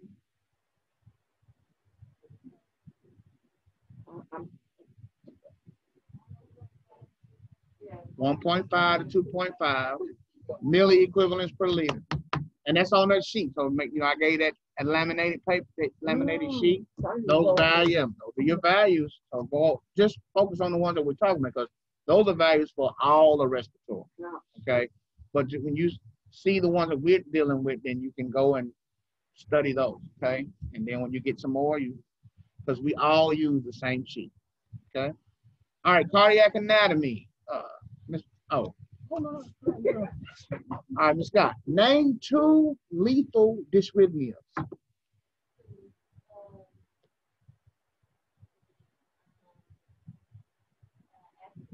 Asystole. Good. V-fib and asystole. We also have V-tach and PEA or EMD, right? Which one? Lethal, Lethal EKGs. Lethal dysrhythmia. That can be deadly. Uh-huh. Ms. Fleming, cardiac anatomy. Name one of the three layers of the heart. That's a sac. Give me a layer. Pericardium is right, but that's the sac that the heart is in. What's one of the layers of the actual heart? Myocardium, and that's the muscle, right, in the middle. We also have the outer layer is called the outer layer, epicardium, and the inner layer is the endo. So inner endo, right? Endocardium. All right. Uh, Miss uh, Thomas, terminology. What does QID mean? Four times a day. All right. Mr. Rivers, cardiac anatomy. What does the T wave mean on the EKG? The T wave. So we got P, Q, R, S, and then T. What is that T? Repolarization of the.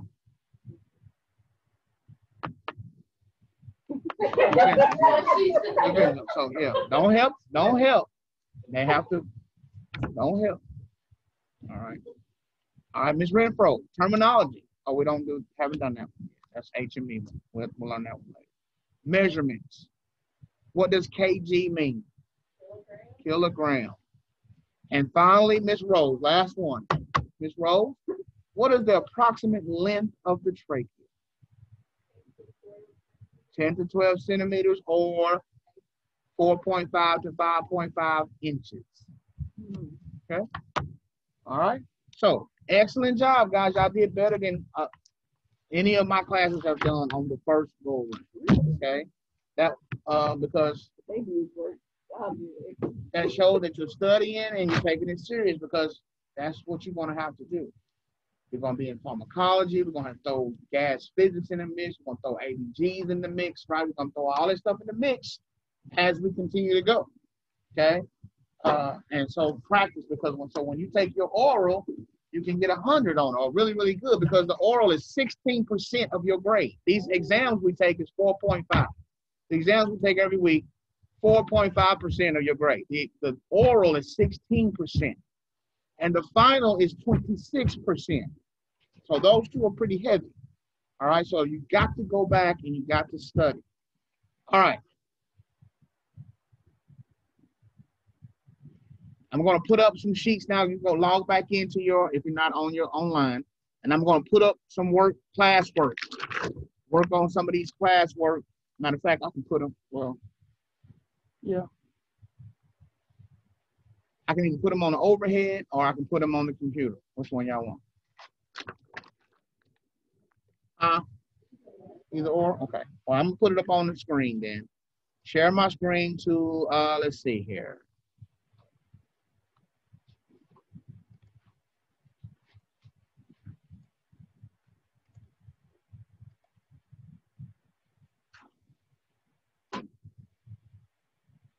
Let's first look at these NBRC questions. They have the answers, but we're going to look at a couple of these NBRC questions. These are sample NBRC questions for pulmonary A&P, kind of how they're structured, okay?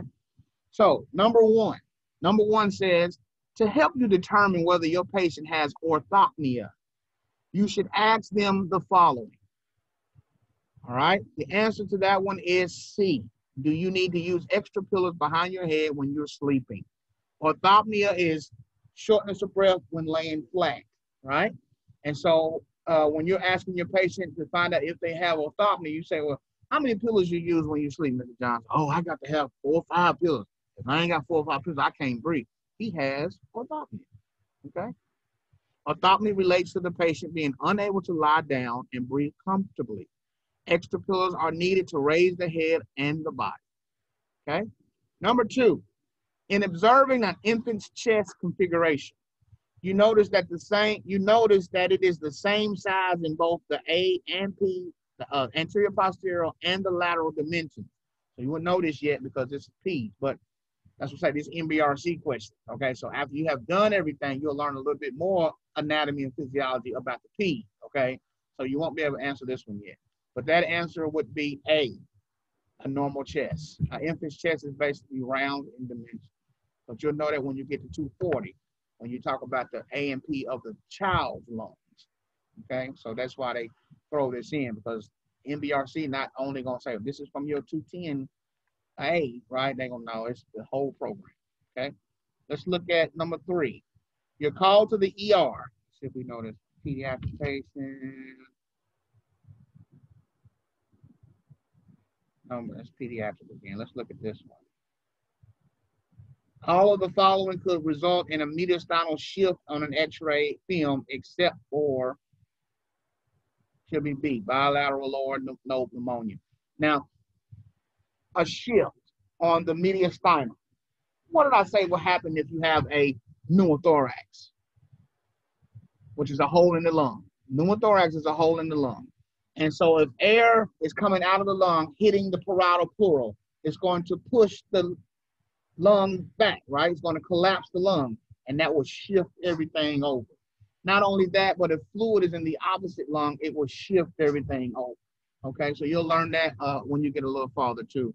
I just thought maybe this would have some that we can answer. Let's see. Okay, let's try this one. Try number five. A patient who is suffering respiratory distress would exhibit all of the following except what? A, a normal respiratory rate. They will have accessory muscles, right? They will have intercostal retractions, nasal flaring, but they're not going to have a normal respiratory rate, okay? So that was a little quick one. Uh, Got to be a little farther for those. I thought maybe we could answer.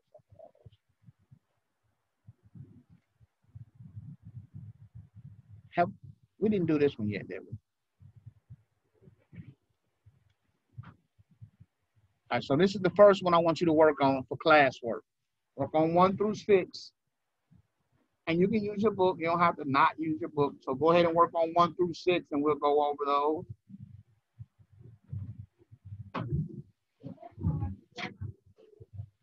Yeah, you can, um,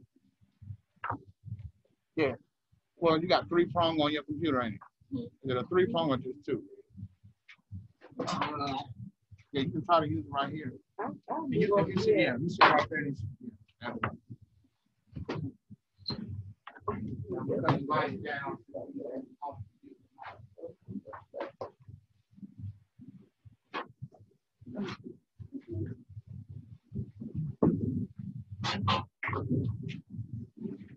Work on one through six.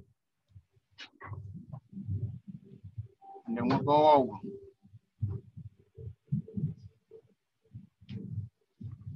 When you graduate, guys, this is what they're going to send you in the mail from the NBRC. I'll pass it on. Take pride in this. It's going to go hard. Yeah, all your work, not only your certificate, or you take, take by the white one. Oh.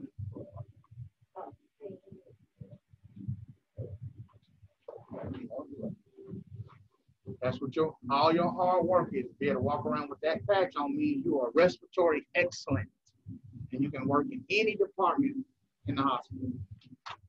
When you CRT, they really don't want you in the ICU. But when you are RT, high as you can go in respiratory, as high as you can go. It's like a little iron patch. Put it on your, your lab coat.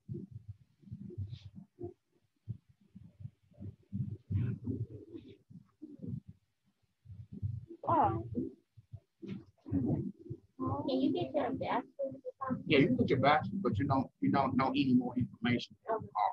Okay. It's just like bureaucracy. Okay.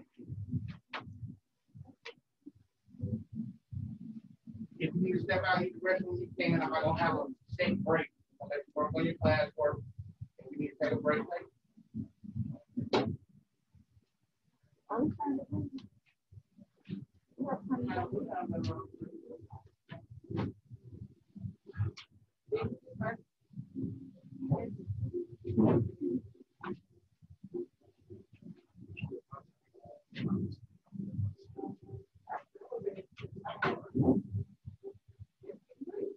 It's, it's a lot. Um, I, I, I ain't just studying the work. I,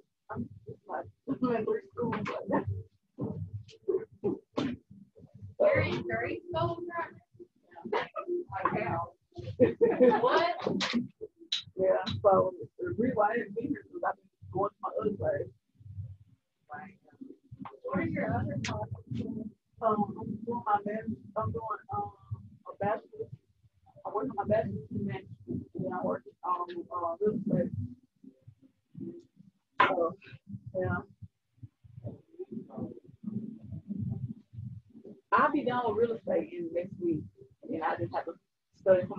for my test a little bit. By the probably around the mid midpoint of the year, I'll be done with everything with real estate. But uh, yeah, both both of my master classes and this class is running down the same length.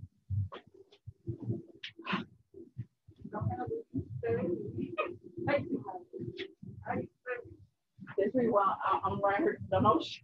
That's the reason why I don't know shit. But I thought our class, this class started on the nineteenth too, for some reason. For some reason, I had in my phone that this class started just on the nineteenth. I don't know. I, my ass probably uh, drunk when I put it.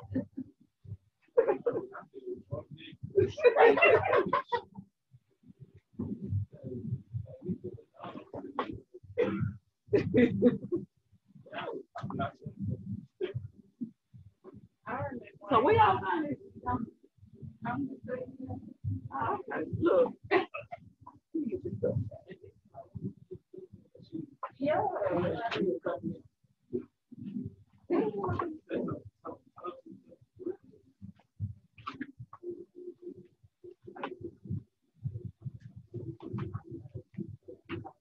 I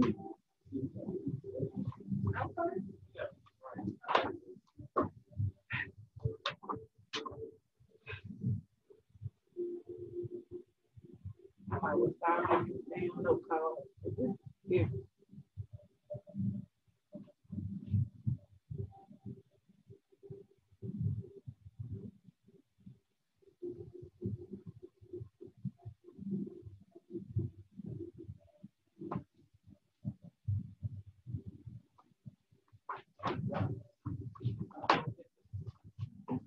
No, it's just hard stuff. Yeah. I can't find it. No, I couldn't remember. Where are they located? The starfish that was trying, trying to get a bronze to fruit. I know you, you work at hospital already. I know you from somewhere. I don't know where you're from. I'm from Sonoma County, Mississippi. Uh, The only time I go to Mississippi is when Why you think about this? Because I ain't got nothing, I ain't like medical assistant, dental assistant, like, well, I know that. But they don't have the long term, the associate program. uh, it's, it's crazy because when I was, they, they, uh, apparently before I came, I graduated here in South Asian Medical School. And before I came here, they had a social program. When I got here, they didn't have a social program. Now they got, it. I'm like, they, they come to their credit. Yeah, according to what I, um, thought, when I called it, um, I thought they had a social program,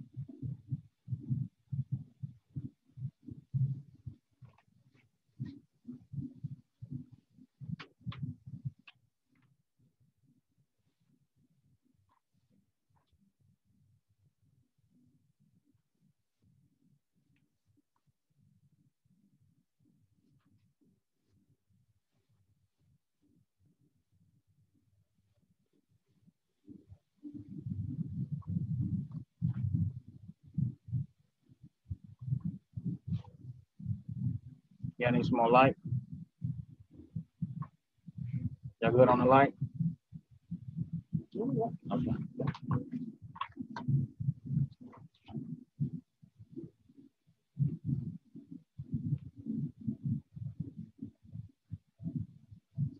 Couple more minutes, I'm gonna have to raise it up. But I'll put it in the, um, I can put it in the canvas for you if you want. You know, if you don't have some answer or whatever. Won't be a grade, it'll be something you can look at.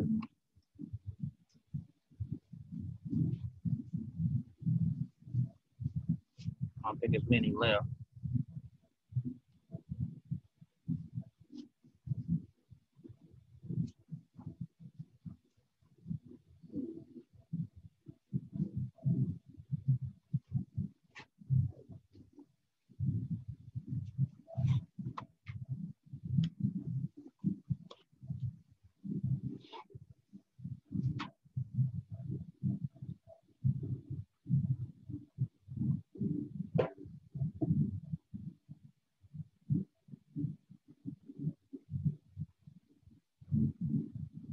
Let's look at number one. What are the goblet cells and where are they located? They secrete mucus and where are they located? Good, good. What about number two? What are the two pleura that surround the pleural space? Viscera and pleura. Number three, name the three types of alveolar cells and their function. So type one, gas exchange or gas diffusion. Type two, good. And type three, uh, all right. Give me four key points about surfactant. Okay. Decreases surface tension, prevents alveolar collapse. There it is, continuously produced, secreted, and eliminated. That's important. Continuously produced, secreted, and eliminated. It's all day long. Sur- Surfactant is being made, used, secreted, and eliminated. All day long. Number five, what's the composition of mucus? 95% water. Good, good. Something wrong? Oh. And number six, what is the body's normal daily production of this mucus? 150 milliliters, 100, 150 milliliters a day. Last four, seven through 10. Mark on seven through 10. And for number 10, it says what generation? Just tell me the structure. You don't have to tell me the number, just tell me the structure.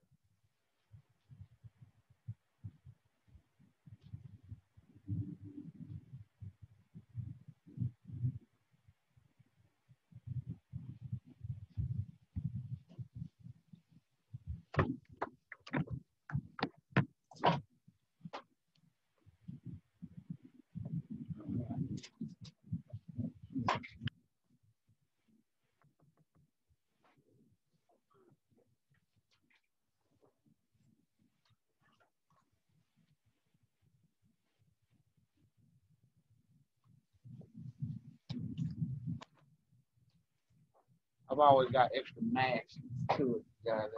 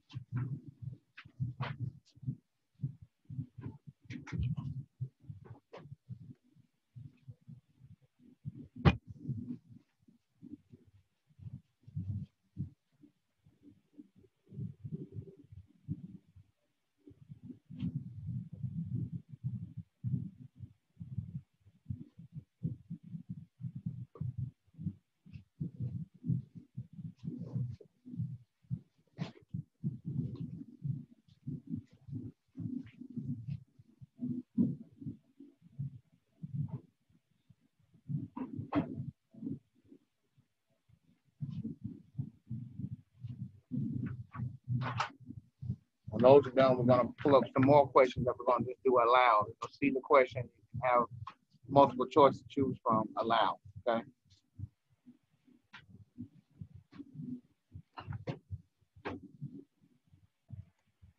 All right, number seven, what does the T wave represent? Ventricular repolarization. What are the four lethal dysrhythmias? V-tach, V-fib, asystole, EMD, or PEA. EMD is electrical mechanical dissonance. PEA is pulses electric activity. They're the exact same thing. That just means you have a normal EKG, but the patient has no pulse. EMD or PEA. D as in dog. EMD as in dog or PEA, like P. All right. Number nine, what is the Herrmann-Breuer reflex? Yes, it prevents lung overinflation by stretch receptors. Herrmann-Breuer reflex are stretch receptors on the smooth muscles of the large and small airways. And when they're activated, they stretch and they send signals to the pneumotaxic center to say, hey, that's enough. Pneumotaxic center would then contact the apneustic center to stop inspiration. All right. And then number 10, what's what's the structure at which respiration begins? Respiratory, respiratory bronchioles, or if you said the parenchyma would be fine. Okay, excellent. All right. Now, now we're going to look at questions that we're going to ask each other. Well, I'm going to ask you, and we're just going to kind of. Uh,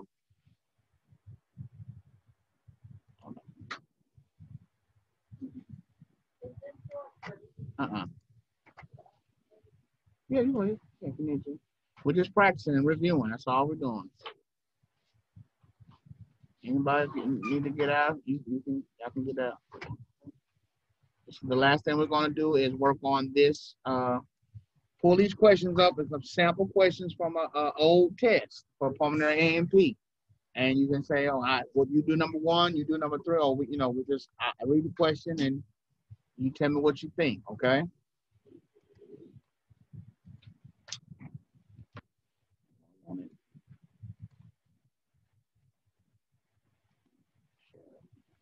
Okay, here we go. All right.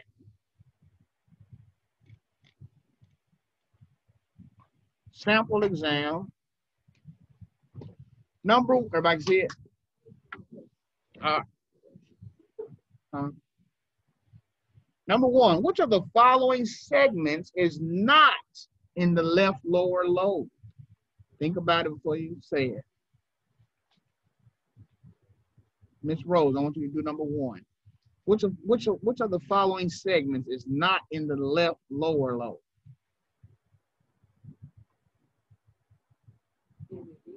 B. That's the only one that makes sense. Apical and basal don't even make sense. The apices is at the top, right? Basal is at the bottom. So apical basal is not even a segment. Okay. All right. Number two. Which of the following airway components is the last to have connective tissue? This was a sample. Uh, remember I told you you wasn't gonna have to know all of the different tissue layers, but which one is the last one to have connective tissue? Oh, You say what? E? Okay, let's let's see, because I ain't even sure. Number two. Number two is A. Number two is the sub subsegmental bronchi. But don't worry about that. You won't have that one. Number three, what is the best site for palpating the location of the trachea, uh, Ms. Cummings? What is the best site for palpating the location of the trachea? Palpate means to touch. So which which one of those structures is the best place for you to palpate your own trachea?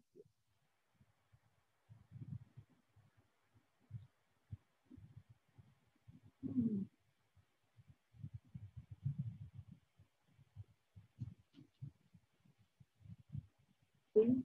C, suprasternal notch.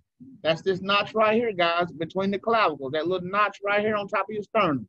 If you push back, that's your trachea. Okay, that's your trachea. Number four, uh, Ms. Scott, the point of bifurcation of the main stem bronchi from the trachea is the B, carina. Carina. Ms. Thomas, normal diaphragmatic excursion resulting in ventilation is what?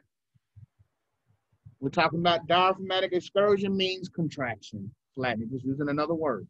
So normal ventilation, the diaphragm descends how much? Huh? Is it B or A? A, centimeters, 1.5 centimeters.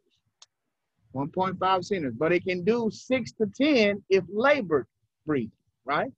Six to 10 during labor breathing. All right, number six, Ms. Fleming. Which of the following is true of surfactant? One of those multiple multiples.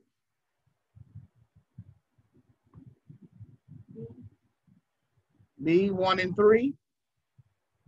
A little bit more. Good. One, two, and four. Does it doesn't cause alveolar collapse, right? It prevents alveolar collapse. So that would be one you could throw out. If you have a question like that, then any answer that has a three in it is not right. So B is out, C is out, E is out. So it's either D or A, right? So the answer is what? One, you said D, one, two, and four. Everybody get that? One, two, and four. It's, it's a phospholipid. It decreases surface tension and it is continuously produced and eliminated. All those are true. All right, number seven, uh, Mr. Simmons. Diaphragmatic excursion during labor breathing can reach up to what? Huh? Yeah, yes. Oh, I'm sorry. I don't know why. Mr. Rivers.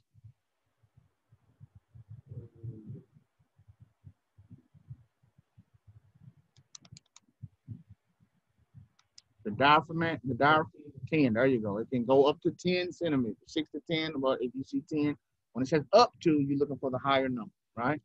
All right. Number eight, Ms. Scott, which of the following is or are accessory muscles?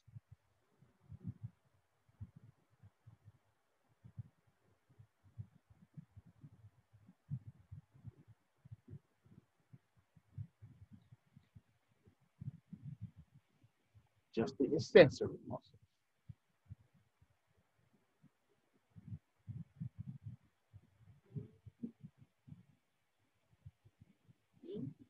C.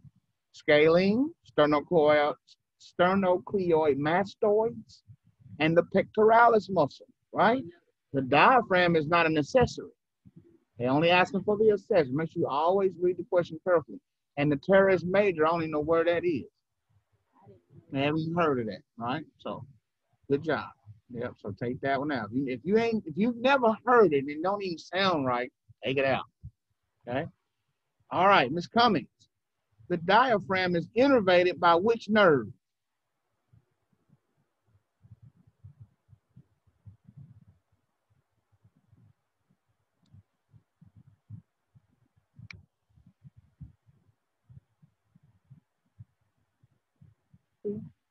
The phrenic nerve.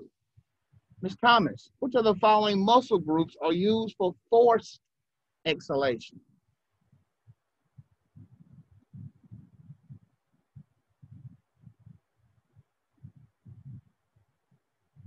Which one is the best choice?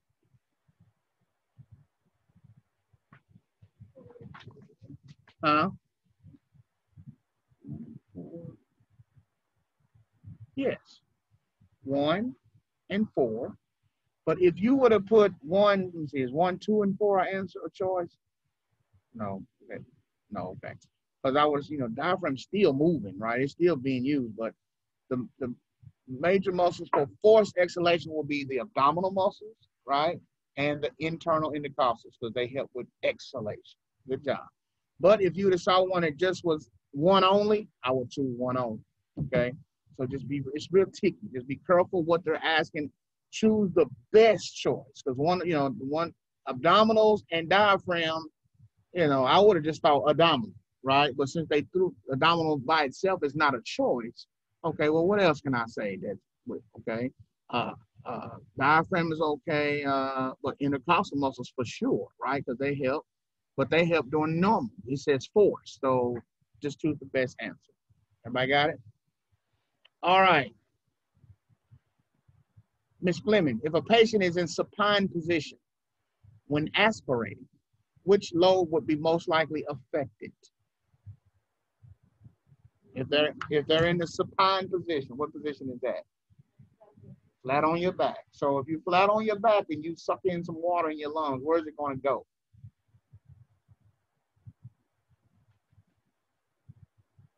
What did you say? Right lower low, Right lower low. It's gonna go to the right, first of all, right? And uh and why they say right lower low? which segment of the right lower lobe is it probably gonna be in? It's in the back. What's the it's in the back of the right lower lobe. Huh? No, no, no, no, no. The segment of the right lower lobe that's in the back. It's also on the it's also on the back of the left lower lobe, superior, superior segment. So when laying on your back, it's gonna go into that superior segment of the right, not the left, because the left has more of an angle. So if you do, you're on your back trying to watch the game and you're drinking your little drink, right? It's going in your superior segment of your right lower lobe. Chilling too hard. Chilling too hard. yeah, probably done done. Number 12, Mr. Rivers. The pores, the purpose of the pores of Kohn are what?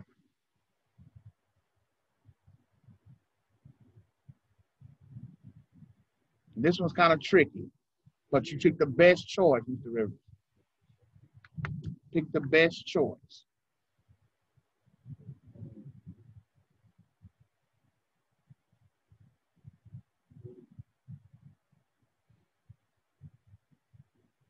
And it's okay if you're wrong. Don't don't be timid. Just whatever you think. See, give me some. Yeah, collateral ventilation. We know collateral ventilation is communication between the alveoli, right? Through the uh, through the uh, pores of Kohn, right? Uh, but also, if you had, it's not collateral circulation, right? People might it's not circulation, it's ventilation. It's air going in between. Okay.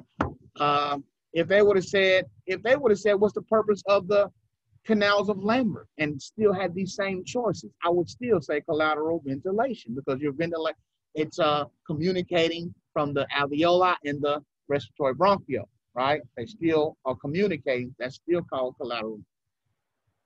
Oh, collateral ventilation. All right. Number 13, Miss Rose, the purpose of the epiglottis.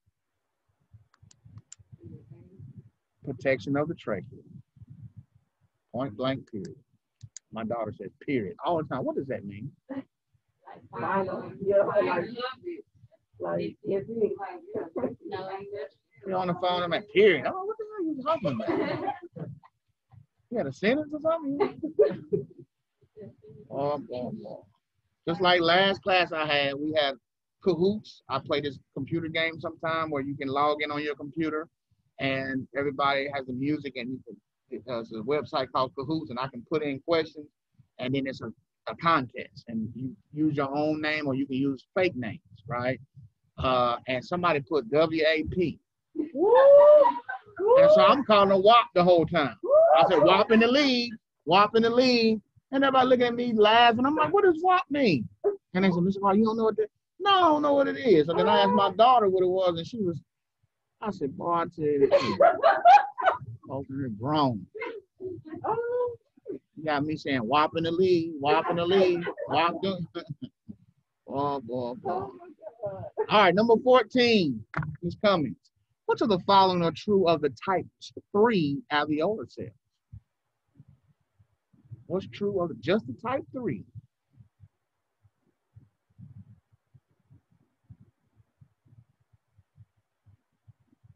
And this is one that you would have seen in the reading because it's a little tricky.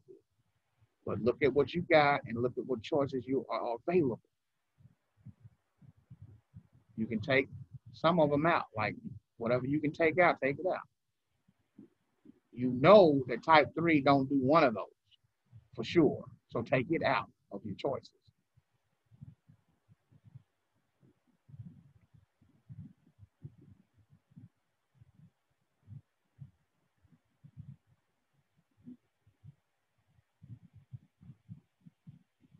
So with that process of elimination, I can take one, two, three of them out.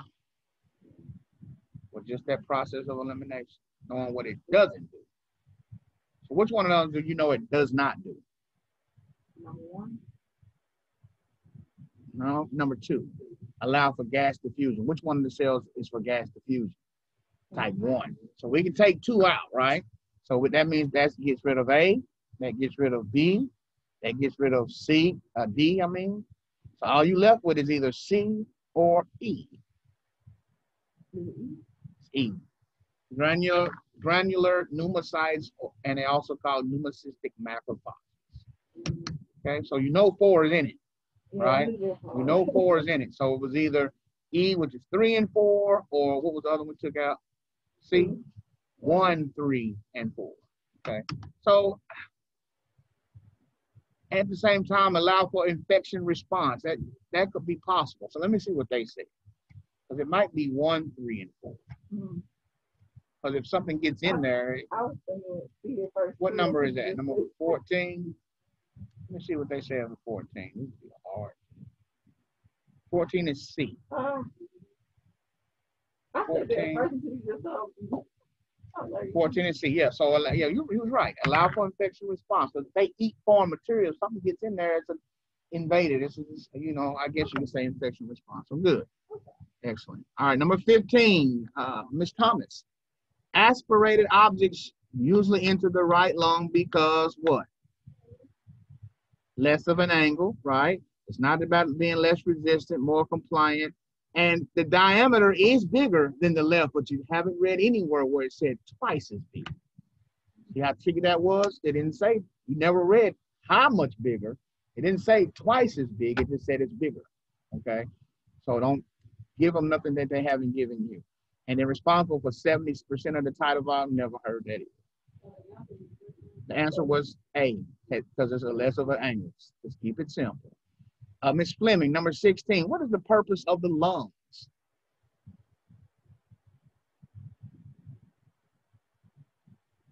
Main job of the lungs. A, external respiration. The Scott, which of the following does not affect ciliary action?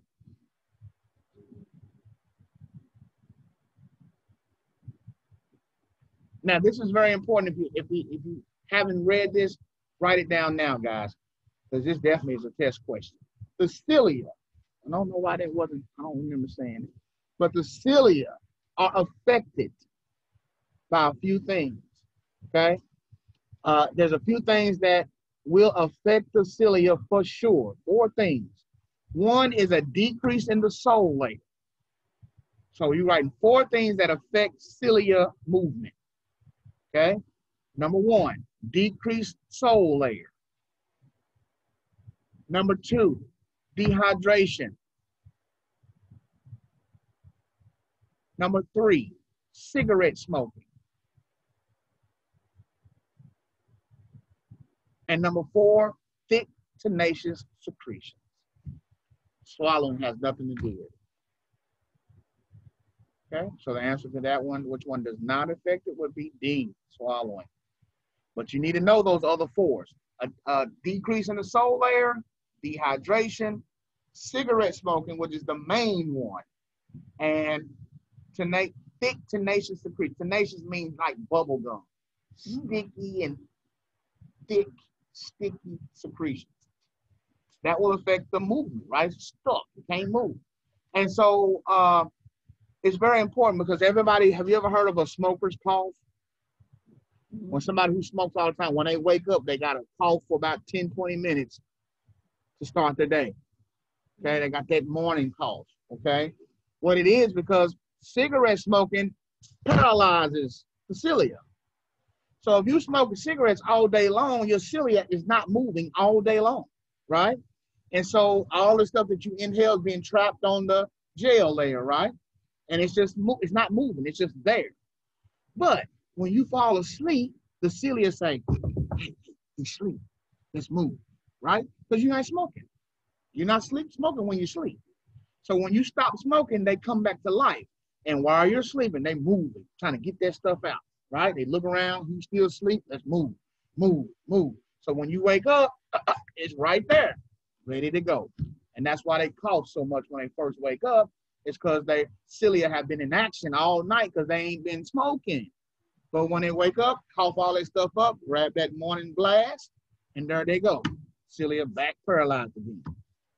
Okay? So cilia are paralyzed by cigarette smoke, blunt smoke, all of that.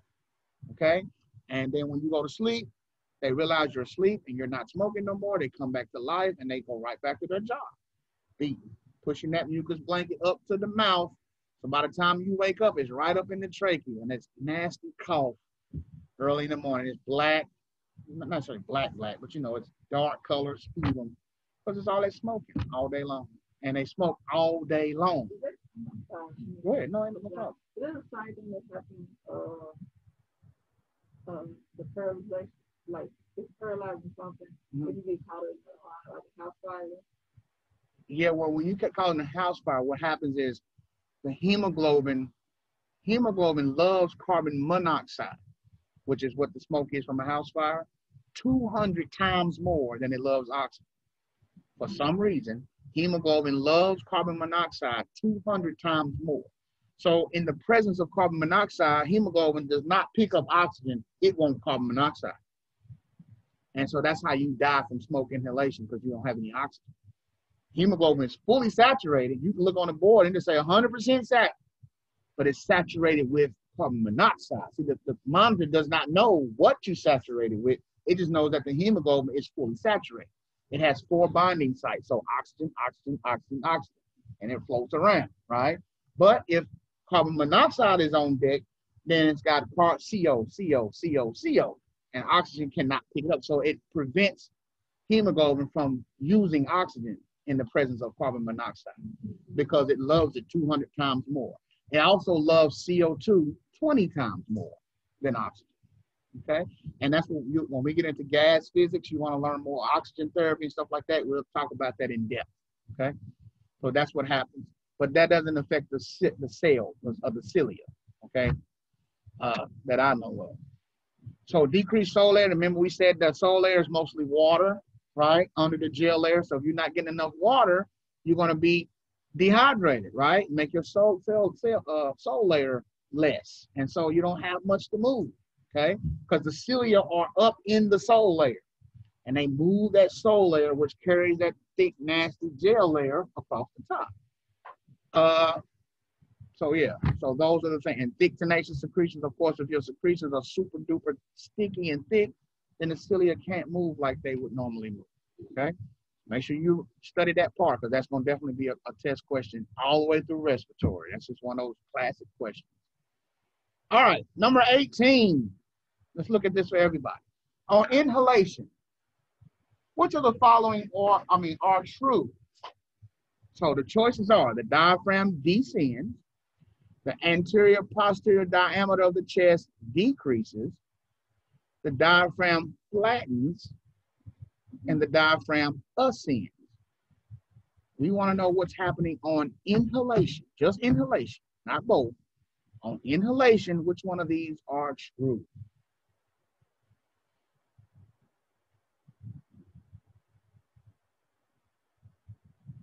So use the process of elimination and try to see if you can get rid of one. So I can see two that I can get rid of immediately. You said D? Okay, let's B is in boy. Okay, let's see. The diaphragm descends. Does it go down? when you inhale? Yes. The, di the diaphragm descends. All right. It also flattens. That's the same thing. Okay. Uh, the AP diameter inside the chest, does it get bigger or does it get smaller? Hmm? When I you oh, mean, I'm, I'm sorry, you it. bigger. When you take a breath in, the, the chest, the thorax widens, right? The ribs get bigger. So the anterior posterior diameter, what they're saying is this is here. This is anterior and this is posterior back here. This is the diameter inside the thorax. When you take a breath in, it gets bigger. It don't get smaller when you breathe in, right? When you breathe in, the, the diameter increases. AP, anterior posterior diameter. Same thing you're going to see when they talk about chest x-ray. You want an AP chest x-ray. That means they're going to shoot from the front to the back. Sometimes they may say they want a PA chest x-ray. That means they're going to shoot from the back to the front, right? Sometimes they want a lateral chest x-ray. That means you raise your arm up over your head and shoot from the side.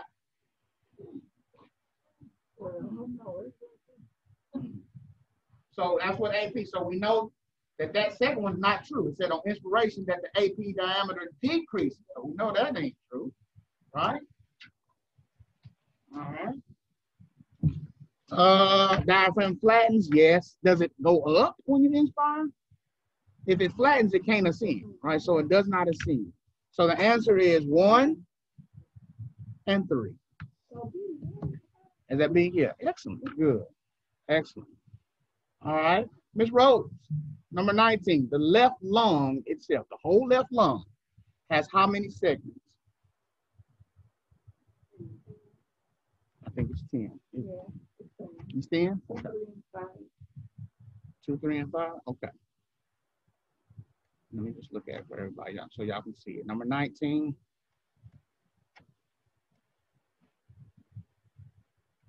Nineteen is A. Hmm. 19 is A. Left lung. You talking about the right, because the right, remember the left lung only has two lobes. Mhm. So 19, the left lung has eight seconds, right? Yeah. Yeah. Yeah, don't forget it's the patient's left and the patient's right. Yeah, that's easy to do when I'm you like, first start out. I, I, I'm, I'm, That's all right. Last one. What is the what is between Mr. Rivers? What's between the parietal and the visceral floor? What's in between those two fluids? We got the parietal fluid that's inside here, inside the chest, you know, lines the thorax, and the visceral fluid is lining the lung. So in between them two, what is that? A small amount of pleural fluid. Excellent. Okay. Um, it says airspace. It shouldn't be any air in there. It should be just fluid. Okay, if there's air in there, that means there's a hole in your lung. That's a pneumothorax. Nothing. If there was nothing, they'd be on top of each other. That's a pleural effusion. They have effused together. Okay, and then should not be any blood. Definitely not any blood. And shouldn't be any surfactant because if surfactant gets out of the lung, that means there's a hole somewhere. Okay, so it's a small amount of pleural fluid. That pleural fluid is also known as serous fluid. Serous fluid. All right. Do I have? I think that was it. Yep. So that concludes the review. Uh, we did review today, went over the whole thing. We also, uh, I recorded this. We did practice oral questions today. Uh, class did very well. I'm very pleased at the progress. All right. Uh, if you didn't, what it, what it is, it also tests you. Okay, what do I need help with? Right. What do I need to go back and focus? If I missed all of the certain type of questions, like the the electrolyte, dang, every time I got electrolyte, I missed it. Or when he asked somebody else, I didn't know it either. Right. Let me go back and do that. If I know I got the segments down packed, then I'm not gonna spend so much time on segments. I'm gonna spend time somewhere else. Okay. So this is just helping you guide you into what you need to focus on and concentrate on more. Okay. Now, um, over the weekend, uh, I'm going to put in for tonight one of those little easy uh, attendance questions again. Okay. Uh, my our RT210C exam will be Monday. True or false? Right. You want to answer that question, and that's why these the grade inside Canvas is not your grade, okay? Because I have to do stuff like this and it might put points in there, right? that little attendance quiz might be worth points on here, but it's not really worth points. It's just for attendance. So your average is your two grades divided by two. Okay.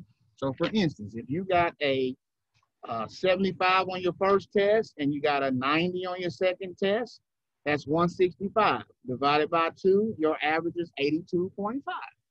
Okay. That's your grade. All right. And they it comes up easy, guys. If you just stick with it, don't let it bother you. It's gonna come back up quick. And your first test, we need to when you gonna I'm saying, you told me to say. oh you're gonna take it today? Okay. Okay, well yeah. So that concludes that, guys. Don't forget you have the PowerPoints available. The, the other lectures that are- that did go through and today's lecture will be available all weekend. Study, read. You should have no problem. It's a 20 question. I don't have any vocabulary words on this one. And then get ready for pulmonary mechanics. Okay? Good job today. I will see you Monday. Is there no way you can, uh, well, I know you tried to email the video. Mhm. There's no other way you could. send- I tried, you know, I tried so much